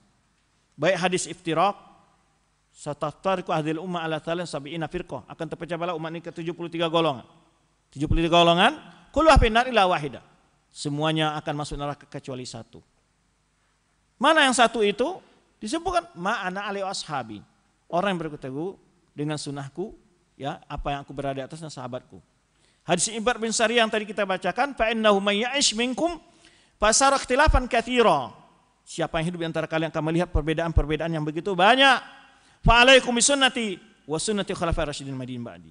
Pegang eratlah sunnahku dan sunnah khulafai rasyidin. Dalam dua hadis ini ada hal yang perlu kita perhatikan. Kenapa selalu dibawa sahabat? Kenapa tidak hanya sunnah? Ma'ana alai wa ashabi. Fa'alaikum sunnati wa sunnati khulafai rasyidin. Dibawa lagi sahabat. Kenapa? Karena sahabatlah yang mengerti bagaimana memahami sunnah. Karena banyak juga orang berhujah dengan sunnah, tapi ditafsirkan, dipahami sesuai hawa nafsunya, sesuai pemahaman kelompoknya, bukan sesuai pemahaman para sahabat. Maka itulah yang disebut dengan manhajus salaf, yaitu arju ila fahmi salafus soleh dalam memahami Al-Quran dan Sunnah memahami Al-Quran Sunnah ini berpegang teguh dengan pemahaman salafus soleh. Pemahaman para sahabat, tabi'in, atba' tabi'in. Mereka itu salafus soleh adalah yang disebutkan dalam hadis Rasulullah SAW. Khairun nasi qarni, thumma alladhina yalunahum, thumma alladhina yalunahum. Sebaik-baik kurun, sebaik-baik manusia, kata Rasulullah SAW adalah masaku, kemudian masa berikutnya, kemudian masa berikutnya. Itu sahabat, para tabi'in, dan atba'un tabi'in. Maka ketika menafsirkan sunnah sunnah merujuk ke dalam pemahaman sahabat. Karena banyak pula kelompok-kelompok sekarang yang menafsirkan sunnah sesuai dengan pemahaman pimpinan kelompok-kelompok mereka, ya pimpinan jamaah-jamaah mereka. Tidak sesuai dengan pemahaman para salafus soleh. Taib. As-sunnah apa pengertiannya? Apa sunnah ini masuk oleh beliau di sini? Termasuk sunnah. Apa yang masuk di sini? Apakah masuk sunnah di sini sunnah dalam pengertian alul hadis? Atau sunnah dalam pengertian ulama usul fikih? Atau sunnah dalam pengertian ulama fikih? Atau sunnah dalam pengertian ulama akidah? Karena sunnah itu memilih pengertian-pengertian berbeda sesuai bidang ilmu, kedisiplin ilmu masing-masing. Sunnah menurut ahlul hadis ma'udhifa ila Nabi SAW min aqwalin wa af'alin wa takriratin. Sesuatu yang disandarkan pada Nabi SAW baik berupa perkataan atau ucapan, perbuatan dan pengakuan. Adapun sunnah menurut orang usul fikih adalah dalil kedua setelah Al-Quran. Maka mereka menyebutkan ya eh, al-adillah syar'iyyah, al-kitab was sunnah. Ya, dalil hadil masalah Alkitab wa sunnah. Dalil setelah Al-Quran mereka sebut sunnah. Adapun sunnah menurut fuqaha adalah sunnah menurut fuqaha apa? Oh ini amalan sunnah. Ma yusabu fa'iluhu wa la yu'aqabu tarikuhu. Yaitu sunnah menurut orang fuqaha adalah yang diberi pahala melakukannya dan tidak berdosa bila ditinggalkan. Yaitu sinonim dengan mustahabbat, mandubat dan tatawwu'. Adapun sunnah menurut orang ahli akidah, ahli akidah adalah keyakinan-keyakinan sesuai dengan keyakinan Rasulullah SAW dan para sahabat. Lawannya bid, bid'ah. Itu agama secara keseluruhan. Nah, oleh sebab itu sunnah di sini lawan daripada bid'ah, bukan sunnah lawan daripada wajib. Karena kalau sunnah lawan dari wajib itu menurut pemahaman siapa? Ahlul fuqaha fikih. Maka penting kita harus memahami istilah-istilah itu. Yang dimaksud di sini apa? Bid'ah, apa pengertian bid'ah? Nah, Sebenarnya kita katakan banyak orang mengatakan sekarang ini, oh bid'ah itu segala yang tidak ada di zaman Nabi. Itu definisi siapa demikian? Tidak ada ulama mengatakan segala yang tidak ada di zaman Nabi itu disebut bid'ah. Jadi disebut mereka adalah sesuatu yaitu sebenarnya didefinisikan oleh uh, Asy-Syatibi dan kitab beliau Al-I'tisam, tarikatun mukhtara'atun. Fid din cara baru yang dibuat dalam agama. Bukan dalam urusan du, dunia. Tarikatun mubtada'atun fiddin atau mukhtara'atun. Cara yang dibuat-buat dalam agama ini. Yuksadu bisulukiha tujuan melakukannya adalah al-mubalagha fit. Cara untuk melakukan itu tujuannya melakukannya apa? Untuk bersemangat dalam beribadah kepada Allah. Tujuannya apa? Al-mubalagha fit ta'abbud. Ingin cara meningkatkan ketakwaan kepada Allah. Jadi mereka melakukan bid'ah itu menganggap cara itu mendapat pahala dan merupakan jalan mendekatkan diri kepada Allah. Itu definisi bid'ah. Definisi bid'ah secara syar'i bukan segala yang baru, apa, bukan segala yang baru atau sesuatu yang tidak ada di zaman Nabi, bukan begitu. Ya, tetapi adalah tariqatun mukhtara'atun fid din. Yuqsadu bisulukiha al mubalaghatu fit ta'abbud. Cara yang dibikin-bikin dalam agama ini kemudian tujuan melaksanakan itu al mubalaghah fit ta'abbud. Ingin ya maksimal dalam beribadah kepada Allah. Jadi mereka menganggap melakukan itu mendapat pahala.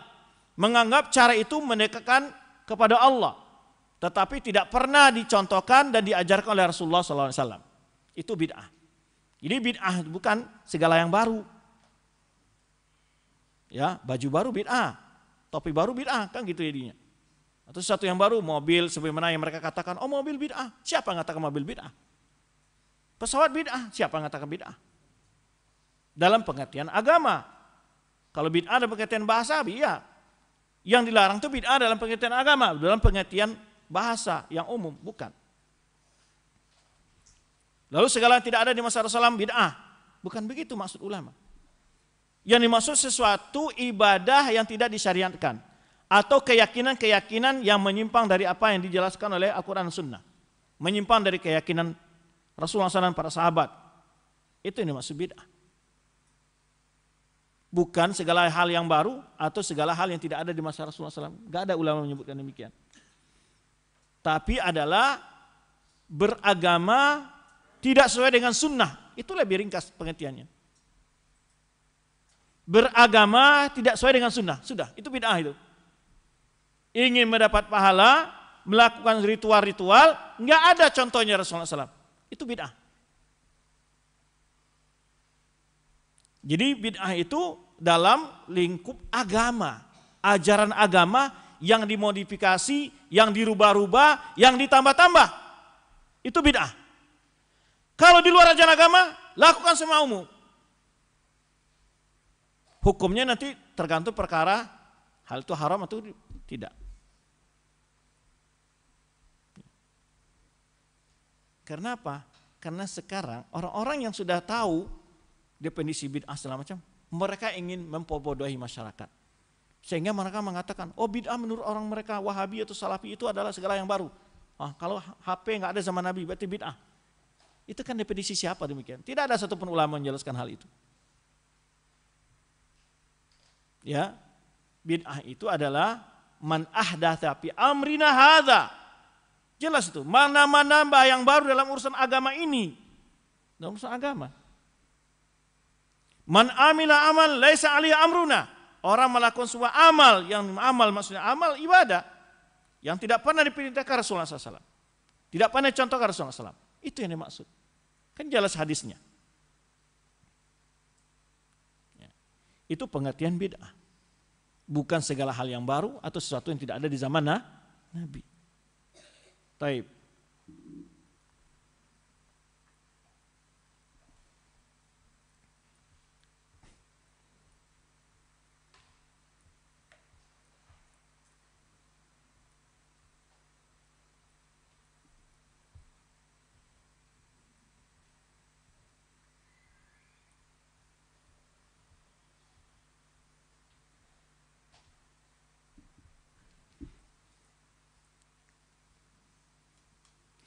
Taib, kita coba lihat penjelasan mu'alif tentang hal ini, tentang wajib berpegang teguh dengan sunnah Rasulullah SAW dan menjauhi bid'ah.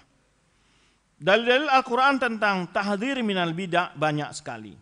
Tidak seperti yang dikatakan oleh salah seorang tokoh al-bid'ah di Nusantara yang mengatakan dalil orang wahabi salafi itu kalau bid'ah itu hanya al-yawma akmaltu lakum dinakum wa atmamtu alaikum nikmati. Tidak ada punya dalil yang lain. Nah, itu kata mereka. Dalil-dalil yang melarang bid'ah itu banyak dalam Al-Quran. Termasuk tadi kita katakan dalil-dalil mencampur adukan hak dengan yang batil wala tabsahaq dalam telah harusnya bid'ah. Itulah bid'ah. Tercampur antara hak dengan yang batil. Larang tentang gulu itu dalil tentang bid bid'ah. Karena bid'ah itu bentuknya gulu, berlebih-lebihan. Ya. Kemudian apa lagi?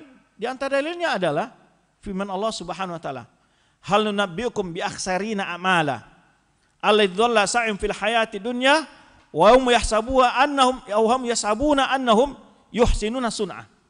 Maukah kalian kata Allah aku beri orang yang paling merugi amalannya. Mereka mengira perbuatan mereka itu baik. Sebab baik perbuatan.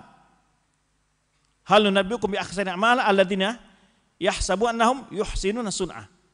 Alladzi dhalla sa'im fil hayati dunya. Mereka telah sesat dalam kehidupan di dunia ini. Wahum yasabu'annahum yahsinu sunnah. Mereka mengira itu yang sebaik-baiknya. Ini dijadikan dalil oleh para ulama tentang bid'ah. Kenapa orang bid'ah itu memandang bid'ah-bid'ahnya itu baik. Menilai bahwa itu adalah cara terbaik dalam meningkatkan ketakwaan kepada Allah.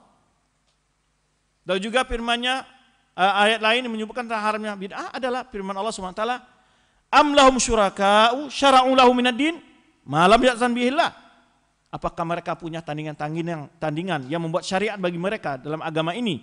Malam ya'zan bihillah yang tidak pernah diizinkan Allah. Maka oleh sebab itu orang-orang yang mencetuskan bid'ah telah menganggap dirinya tandingan bagi Allah SWT secara tidak langsung. Karena dia membuat syariat. Karena yang berhak menurunkan syariat membuat syariat itu hanyalah Allah Subhanahu wa taala. Am lahum syuraka syara'u lahum minad din ma lam ya'zan bihillah. Taib. Dan masih banyak ayat-ayat yang lain yang menjelaskan tentang tahzir terhadap bid'ah. Taib. Kalau hadis Nabi SAW sangat banyak sekali.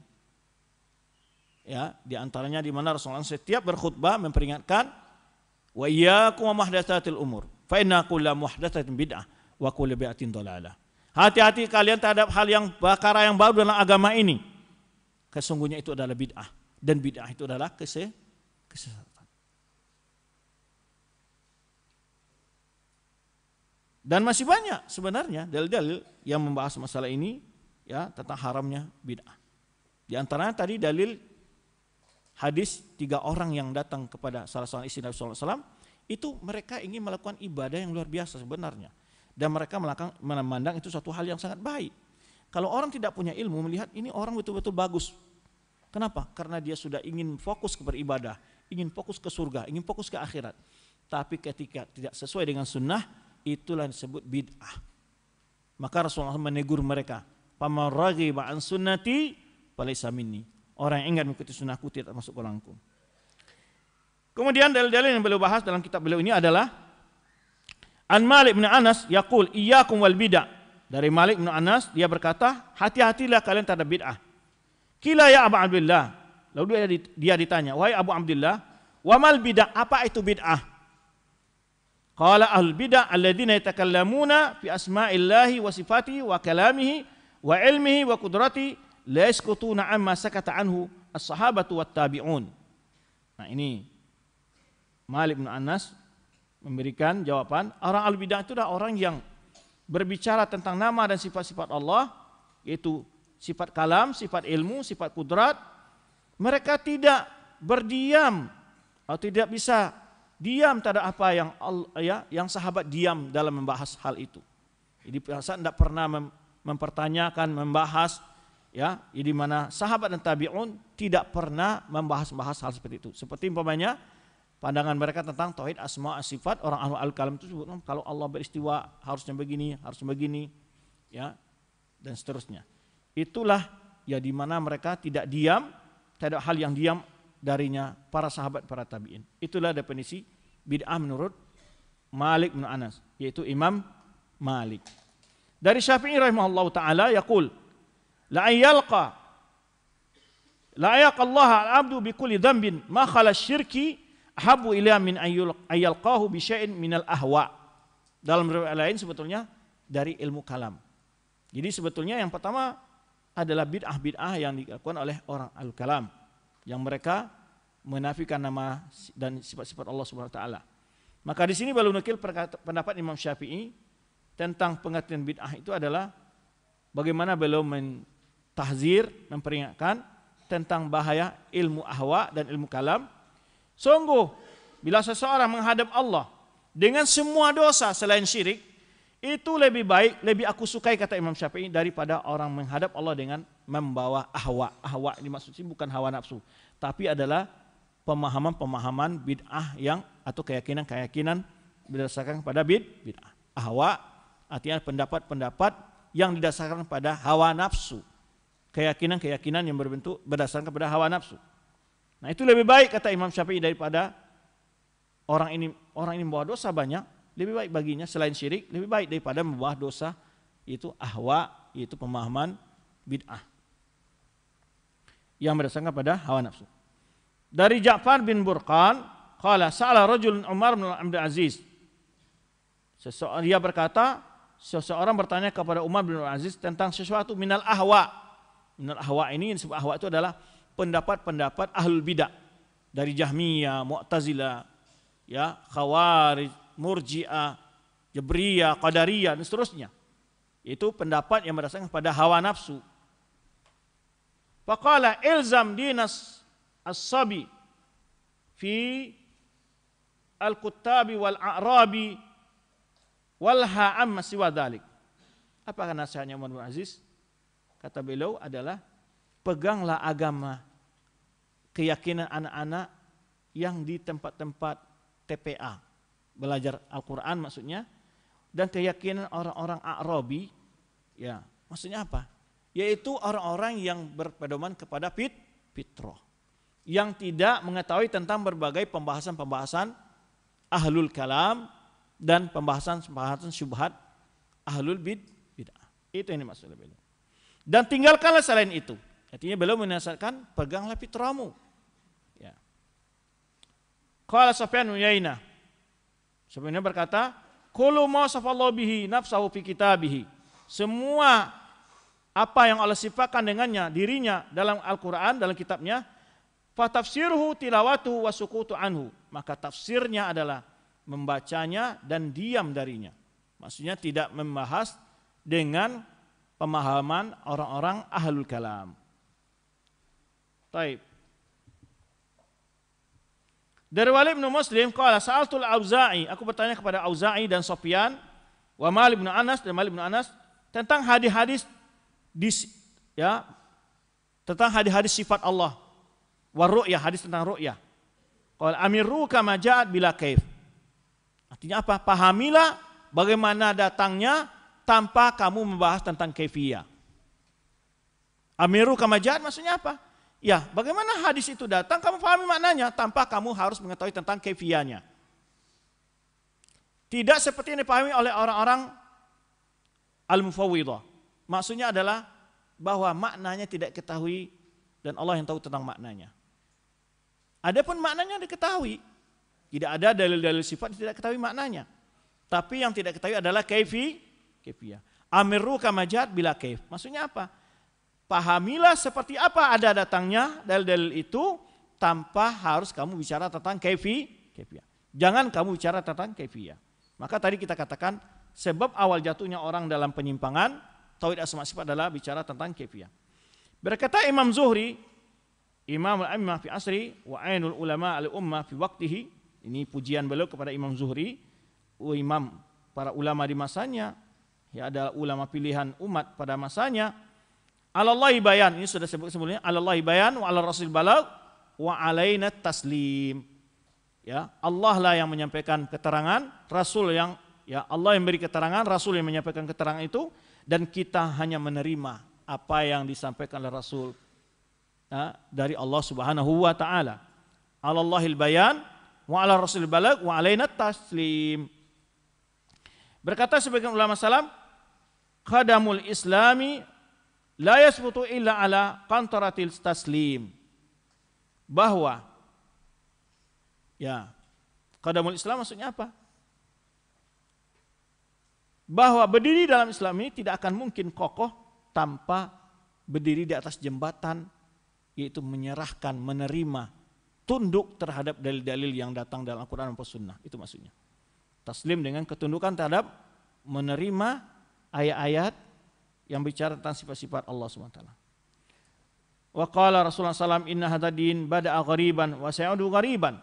Kata Rasulullah SAW sungguhnya agama ini dimulai dalam keadaan asing dan kembali menjadi asing kama bada seperti mana dimulai awalnya Fatuba lil ghuraba maka surgalah bagi ya surga ini satu tempat dalam surga bagi orang-orang yang dianggap asing. Kila ya Rasulullah, manil ghuraba, manil ghuraba. Lalu ada yang bertanya, wahai Rasul, siapakah mereka yang dianggap asing itu? Qala alladziina yuhyawna sunnati min ba'di. Itu mereka yang ghuraba itu orang yang menghidupkan sunnahku setelah aku. Wa ya'allimunaha ibadallah. Mereka mengajarkan hamba-hamba Allah. Itulah mereka al-ghuraba. Yang menghidupkan sunnah dan mengajarkan sunnah kepada para hamba Allah. Dari Qasim bin Salam, Qasim bin Salam, al-muttabi' li sunnati, orang yang mengikuti sunnah, kal qabid al jamar, seperti orang memegang bara api. Jadi tadi kata ulama, orang yang kokoh dalam Islam, caranya tunduk kepada dalil-dalil syar'i. Kemudian setelah itu beliau menyebutkan tentang perkataan siapa? Yaitu hadis Rasulullah SAW. Siapakah guraba itulah? Orang yang menghidupkan sunnahku setelah aku dan mengajarkan sunnah itu kepada manusia atau kepada hamba Allah. Berkata pula Qasim bin orang mengikuti sunnah seperti orang memegang bara api. Maksudnya apa? bahwa dari hadis Rasulullah SAW itu asing, bahwa orang yang melakukan sunnah akan dianggap asing atau diasingkan oleh orang-orang, tidak suka. Akan dimusuhi. Ya. Makanya ketika hadis Irbad bin Syari itu kata Rasulullah, "Adu bin nawajiz." Pegang erat dengan gerahamu. Apa faedah dari perintah itu? Ya, tamassaku biha wa adu bin nawajiz. Pegang eratlah sunnah itu dan gigit dengan gerahamu. Apa maksud di situ? Berarti ketika kita berpegang teguh dengan sunnah, akan berat tantangannya. Sampai-sampai perjuangan itu terakhir adalah kita harus menggigit pegangan sunnah itu dengan geraham kita. Ibaratnya begitu. Artinya mengamalkan sunnah Rasulullah SAW di akhir zaman bukan semudah yang dibayangkan. Akan diallah-Allah, akan dimaki, akan dicaci, akan dicemooh, dan seterusnya. Makanya kata Al-Qasim bin Salam, berpegang teguh dengan sunnah itu seperti memegang bara api. Memegang bara api gimana? Kadang-kadang panas, terpaksa dilepas, diambil lagi dan seterusnya. Begitulah. Sulit maksudnya begitu. Ya, maka dianggap asing oleh orang. Tapi asingnya Islam di akhir zaman itu di tengah kaum muslimin. Itu karena mereka tidak mengetahui tentang ajaran-ajaran Rasulullah SAW. Wahwal yauma indi afdal min darbi saifi fi sabilillah. Kata beliau berpegang teguh di masa ini kata beliau lebih utama daripada mengangkat pedang di jalan Allah. Lebih utama daripada berji berjihad. Perkataan siapa? Al-Qasim bin Salam. Antum hafal itu perkataan ulama itu. At-tamasuk bis sunnati kal qabid al-jamar. Berpegang teguh dengan sunnah seperti memegang bara api wahal yom afdal indi ya wahal yom indi afdal min darbi fi sabilillah. Dan menurutku pada hari ini lebih mulia daripada mengangkat pedang di jalan Allah. Maka mengamal sunnah menegakkan sunnah bukan hal yang mudah. Berat. Sehingga digambarkan seperti memegang bara api. Taib. Tadi yang kita katakan sabda Rasulullah SAW, pegang eratlah, tamassaku biha. Wa'adu alaihi wajiz pegang erat dengan gerahamu. Ulama hadis menjelaskan syarah hadis ini kenapa harus dengan geraham. Menurut ulama, terakhir pertahanan seseorang untuk mempertahankan sesuatu yang direbut darinya, biasanya tidak sanggup dengan dua tangan lagi, dia berupaya menggigit sesuatu itu.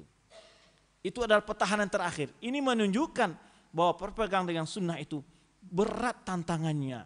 Sehingga digambarkan pertahanan terakhir itu Rasulullah SAW harus pegang dengan gerah, geraham seperti sesuatu yang direbut dari kita ketika kita sudah nggak mampu lagi nih tangan nggak kuat lagi mempertahankan ditambah lagi dengan digigit dengan gerah itu menunjukkan betapa pentingnya dan beratnya perang teguh dengan sunnah Rasulullah SAW.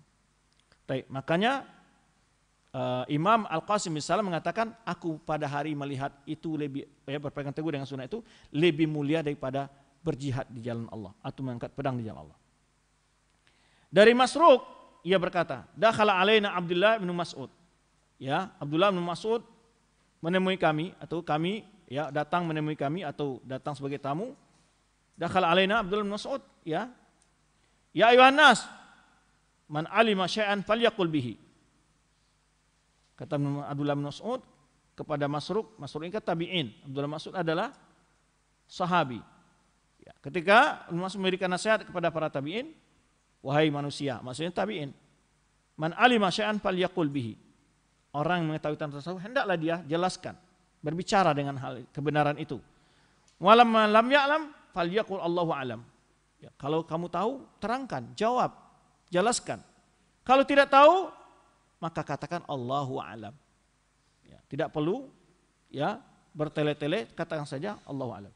Fa inna minal ilmi ayyaqula lima la ya'lam. Sesungguhnya bagian dari ilmu itu adalah seseorang mengatakan terhadap hal yang tidak diketahuinya, Allahu alam, itu bagian dari ilmu. Bahkan sebagian orang mengatakan Allahu alam nisful ilm. Allahu alam nisful ilm. Ya. Qala azza wa jalla nabihi di mana Allah SWT berkata kepada nabinya, "Kul ma as'alukum alaihi min ajrin wa ma ana bil mutakallifin." Katakanlah aku tidak meminta kepada kalian pahala ya dari dakwah ini atas apa yang aku sampaikan. Wa ma ana bil mutakallifin. Aku bukan termasuk orang-orang yang mutakalluf, mutakallif. Takalluf itu maksudnya apa? Melampaui hal-hal yang tidak diperintahkan. Itu disebut dengan bid'ah, takalluf. bersusah-susah untuk sesuatu yang tidak diperintahkan. Makanya ketika Ibn Mas'ud menyifatkan tentang sahabat Nabi SAW, Man kana mustannan fal yastannan biman qad mat fa innal hayya la tu'mana alaihi fitnah. Ah. Ulaika ashabu Muhammadin abaru hadil umma quluban wa amakuha ilman wa akalluha takallufan. Barang siapa ingin menegakkan sunnah, maka jalankanlah sunnah orang yang telah meninggal. Maksudnya para sahabat Nabi SAW. Itu para sahabat Nabi Muhammad SAW. Karena orang yang hidup kata beliau tidak bisa dijamin aman dari fitnah. Ya. Ulaika, mereka itu siapa? Para sahabat Nabi. Yang paling dalam a'maq wa ilman, yang paling dalam ilmunya. Ya. Kemudian wa ilman wa aqallu. Ya dan sangat tidak melakukan ya paling sedikit dalam melakukan hal-hal yang berlebih-lebihan.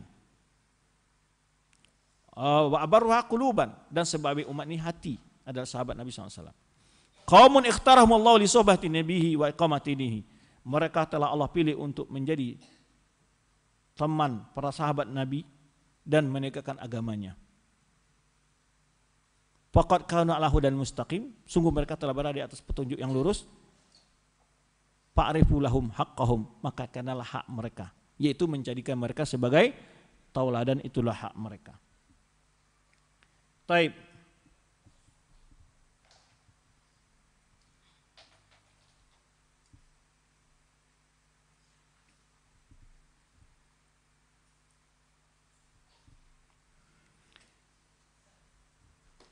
Kemudian dari Muhammad bin Al-Qurazi, Al-Qurazi, Muhammad bin Al-Qurazi Qala dakhaltu ala Umar bin Abdul Aziz. Semua inilah perkataan-perkataan sahabat dan tabi'in tentang berpegang teguh dengan sunnah. Beliau tidak memulai dari Al-Quran maupun hadis Nabi SAW. Faja'altu antur ilahi. Kata Ka'ab, ya Muhammad bin Ka'ab Al-Quradi ini, aku bertamu kepada Umar bin Aziz, Umar bin Aziz, faja'altu antur ilahi dan aku melihat kepadanya nadran syadidan dengan melihat perhatian yang sangat serius itulah. Faqala innaka lan tanzura ilayya nadhran ma kuntu tanzur ma kunta tanzuru ilayya. Ya. Innaka la tanzuru ilayya, kenapa kamu melihat dengan pandangan yang tidak pernah engkau lakukan seperti ini melihat kepadaku sebelum ini. Wa ana bil Madinah, waktu saya masih di Madinah. Kata Umar bin Abdul Aziz kepada Muhammad bin Ka'ab Al-Quradi. Fakultu li ta'ajjubi. Lalu aku jawab, ketika Umar bin Aziz ketika dia melihat melotot yang lama melihat kepada Umar bin Aziz lalu Umar bin Aziz kenapa engkau melihat seperti itu?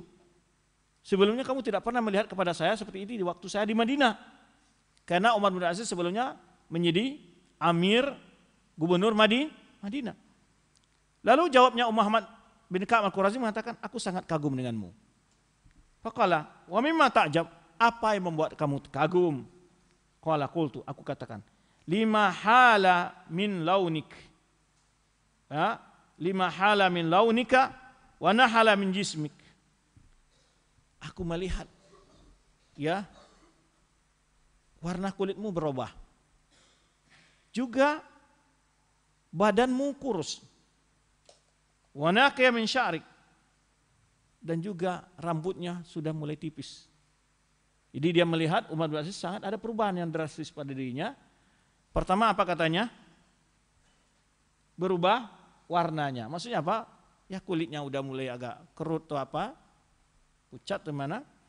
Wana halamin jismik. Tubuhmu yang sudah mulai kurus. Rambutmu yang mulai tipis. Nah, ya.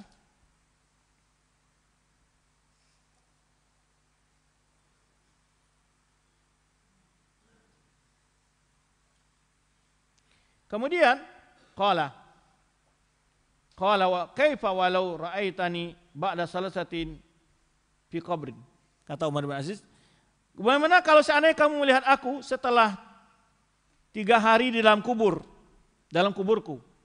Ini kepada Umar bin Aziz. Bagaimana kalau seandainya kamu melihat saya setelah tiga hari aku dikubur? Waqat sa'alat hadaqataya ya waqat salat waqat salat hadaqataya ala wajanatayya sungguh kedua bulu mataku setelah turun ya sudah kendor begitu ya ala wajbai ini yang ini turun ke sini. Sudah maksudnya sudah menunjukkan seseorang sudah lanjut uh, usia. Ya. Jadi wajnataya ini. Jadi bulu matanya sudah turun. Wasala man khiraya. Ya. Fi fami sadidan. Dia katakan juga kerongkonganku sudah mulai berdahak. Mulutku dipenuhi oleh apa? Dahak. Kuntu ya, kuntali asyada nukratan. Tentu akan engkau akan semakin heran melihatku. Kata Umar bin Abdul Aziz. Ya, maksudnya kalau aku sudah tiga hari dalam kuburku, ya rambut ini sudah menutupi mataku sampai pipiku dan mulutku dipenuhi oleh apa dahak gitu ya tentu aku akan, aku akan semakin takut melihatku kata Umar bin Aziz. Hadasannya hadis ni hadisan kunta hadas tanihi an Abdullah bin Abbas. Lalu sampaikanlah kepadaku sebuah hadis yang pernah engkau sampaikan kepadaku sebelumnya yaitu dari hadis Abdullah bin Abbas. Qala qultu ya lalu dia berkata Hadasin Abdullah bin Abbas yarfa'ul hadis ila Rasulullah SAW. Aku mendengar Abdullah bin Abbas yang menyampaikan hadis kepada Rasulullah SAW. Kala, di kulli syai'in syarafun wa asyraful majalis mastuk mustuk bila bihi kiblah. Setiap sesuatu itu punya kemuliaan. Majlis yang mulia, tempat duduk yang mulia adalah bila menghadap ke kiblat. Wala tusallu khalfa naimin wala muhdisin. Jangan engkau salat di belakang orang yang ketiduran dan bukan pula dan jangan pula salat di belakang orang melakukan bid'ah muhdisin. Atau ya waktul hayya wal akrab. Ya jangan engkau salat di belakang orang yang tidur dan juga orang telah batal wuduknya juga bisa waktunya muhdis di situ maksudnya. Ya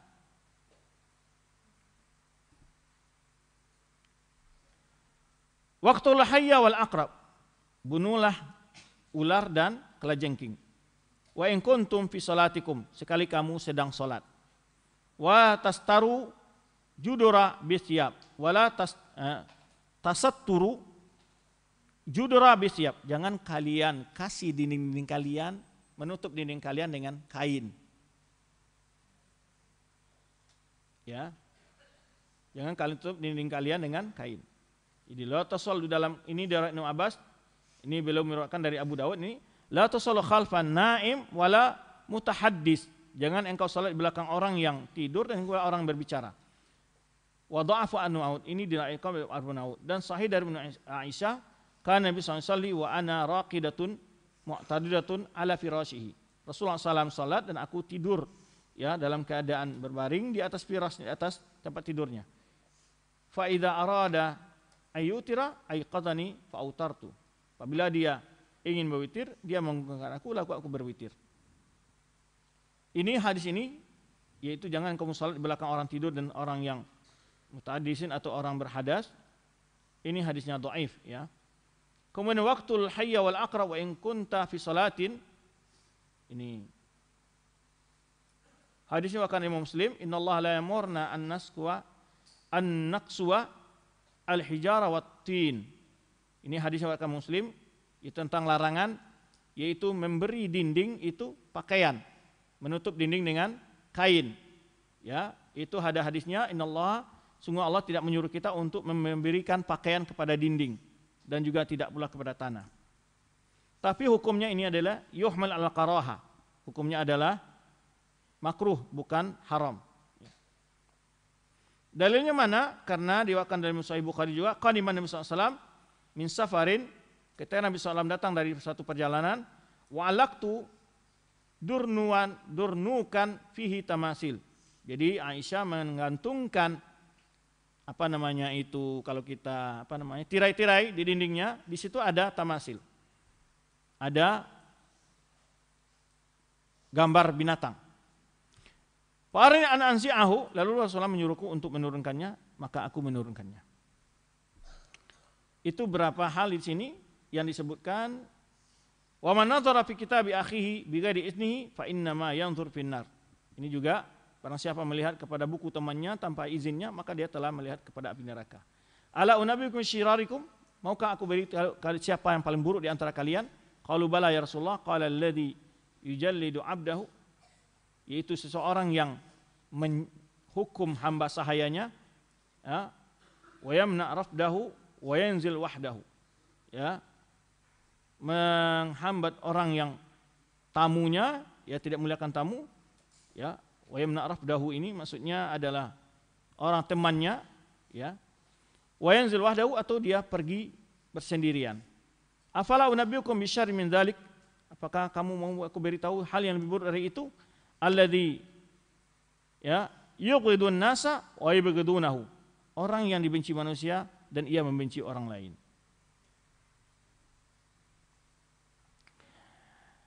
Hadis-hadis ini dalam sana terdapat berapa catatan ya, tetapi ada hadis-hadis yang semakna tetapi tidak persis seperti itu. Ala hadaitsukum bima huwa khairul lakum min sadaqah wa siyam salahu zatil bain ala innal bighdah hiyal haliqah. Apakah engkau kalian tahu aku beritahu tentang apa yang baik-baik bagi kalian ada bersedekah dan daripada bersedekah dan puasa yaitu adalah mendamaikan zatil bain mendamaikan yaitu dua orang yang sedang berselisih.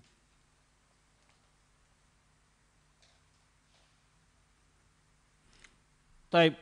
Ala unabiukum bisyar min dzalik? Maukah aku beritahu kalian hal yang lebih buruk dari itu? Alladzi la yaqil atra wa la yaqbal ma'dzirah. Ya, orang yang apa namanya? tidak menghindari kesalahan dan tidak menerima alasan wala yakfuru dzamban dan tidak mau memberikan maaf untuk orang lain. Afala nabiukum bisyar min dzalik? Maka aku beritahu hal yang lebih dari itu, alladzi la yurja khairuhu wa la yu'man syarruhu. Orang yang tidak diharapkan kebaikannya dan tidak aman orang lain dari keburukannya. Man habba yakuna aqwan nas falyatawakkal 'ala Allah. Barang siapa ingin manusia manusia yang terkuat, maka hendaklah bertawakal kepada Allah. Wa man haba yakuna aghnan nas falyakum mimma fi yadillahi awsaq. Barang siapa ingin menjadi manusia terkaya, hendaklah dia yakin dengan apa yang ada di tangan Allah, ya. Bima fi yadi ghairihi. Dia lebih yakin dengan apa yang ada di tangan Allah dari apa yang ada di tangan orang lain. Wa man haba yakuna akraman nas falyattaqillah. Barang siapa ingin menjadi manusia termulia, hendaklah dia bertakwa kepada Allah. Itu inna akramakum indallahi atqakum. Inna Isa alaihissalam qama fi qaumihi. Sesungguhnya Isa berdiri di tengah kaumnya, faqala, "Ya Bani Israel," dia berkata, "Wahai Bani Israel, la takallamu bil hikmah indal juhal." Jangan bicara dengan hikmah di sisi orang-orang bodoh. Ya. Fataslimuha. Ya, kalian akan menzalimi hikmah itu. Wala tamna'uha alaha. Jangan kalian halangi dari hikmah orang yang berhak untuk mendapatkannya. Fadlukum inda rabbikum, keutamaan kalian di situ kalian itu ya. Eh, fatazlamuhum, kalau kalian menghambat hikmah dari orang yang berhak menerimanya, kalian menzalimi mereka. Wala tazlimu, jangan kalian membuat zalim, ber, berlaku kezaliman. Wala tukafi'u zaliman bi zulmihi. Jangan engkau balas kezaliman seseorang dengan berbuat zalim kepadanya. Fayubtilu fadlakum inda rabbikum, sehingga hilang keutamaan kalian di sisi Rabb kalian. Al-amru thalatha, urusan itu ada tiga. Amrun baina rusdihi fattabi bayyinun. Bayyinun rusduhu fattabi'hu. Perkara itu ada tiga hal. Perkara yang jelas rusduhu kebenarannya maka ikutilah. Wa amrun bayyinun ghayyuhu. Perkara yang jelas keburukannya fajtanibuhu maka hindarilah wa amru ikhtilifa fihi faqiluhu lillahi azza wajal perkara yang ikhtilifa fihi yang di dalamnya terdapat perbedaan dan perselisihan, maka serahkanlah kepada Allah Subhanahu wa taala. Sebenarnya ingin diambil bagian yang terakhir itu. Ada hal yang jelas-jelas kebenaran sama dengan hadis Rasulullah SAW.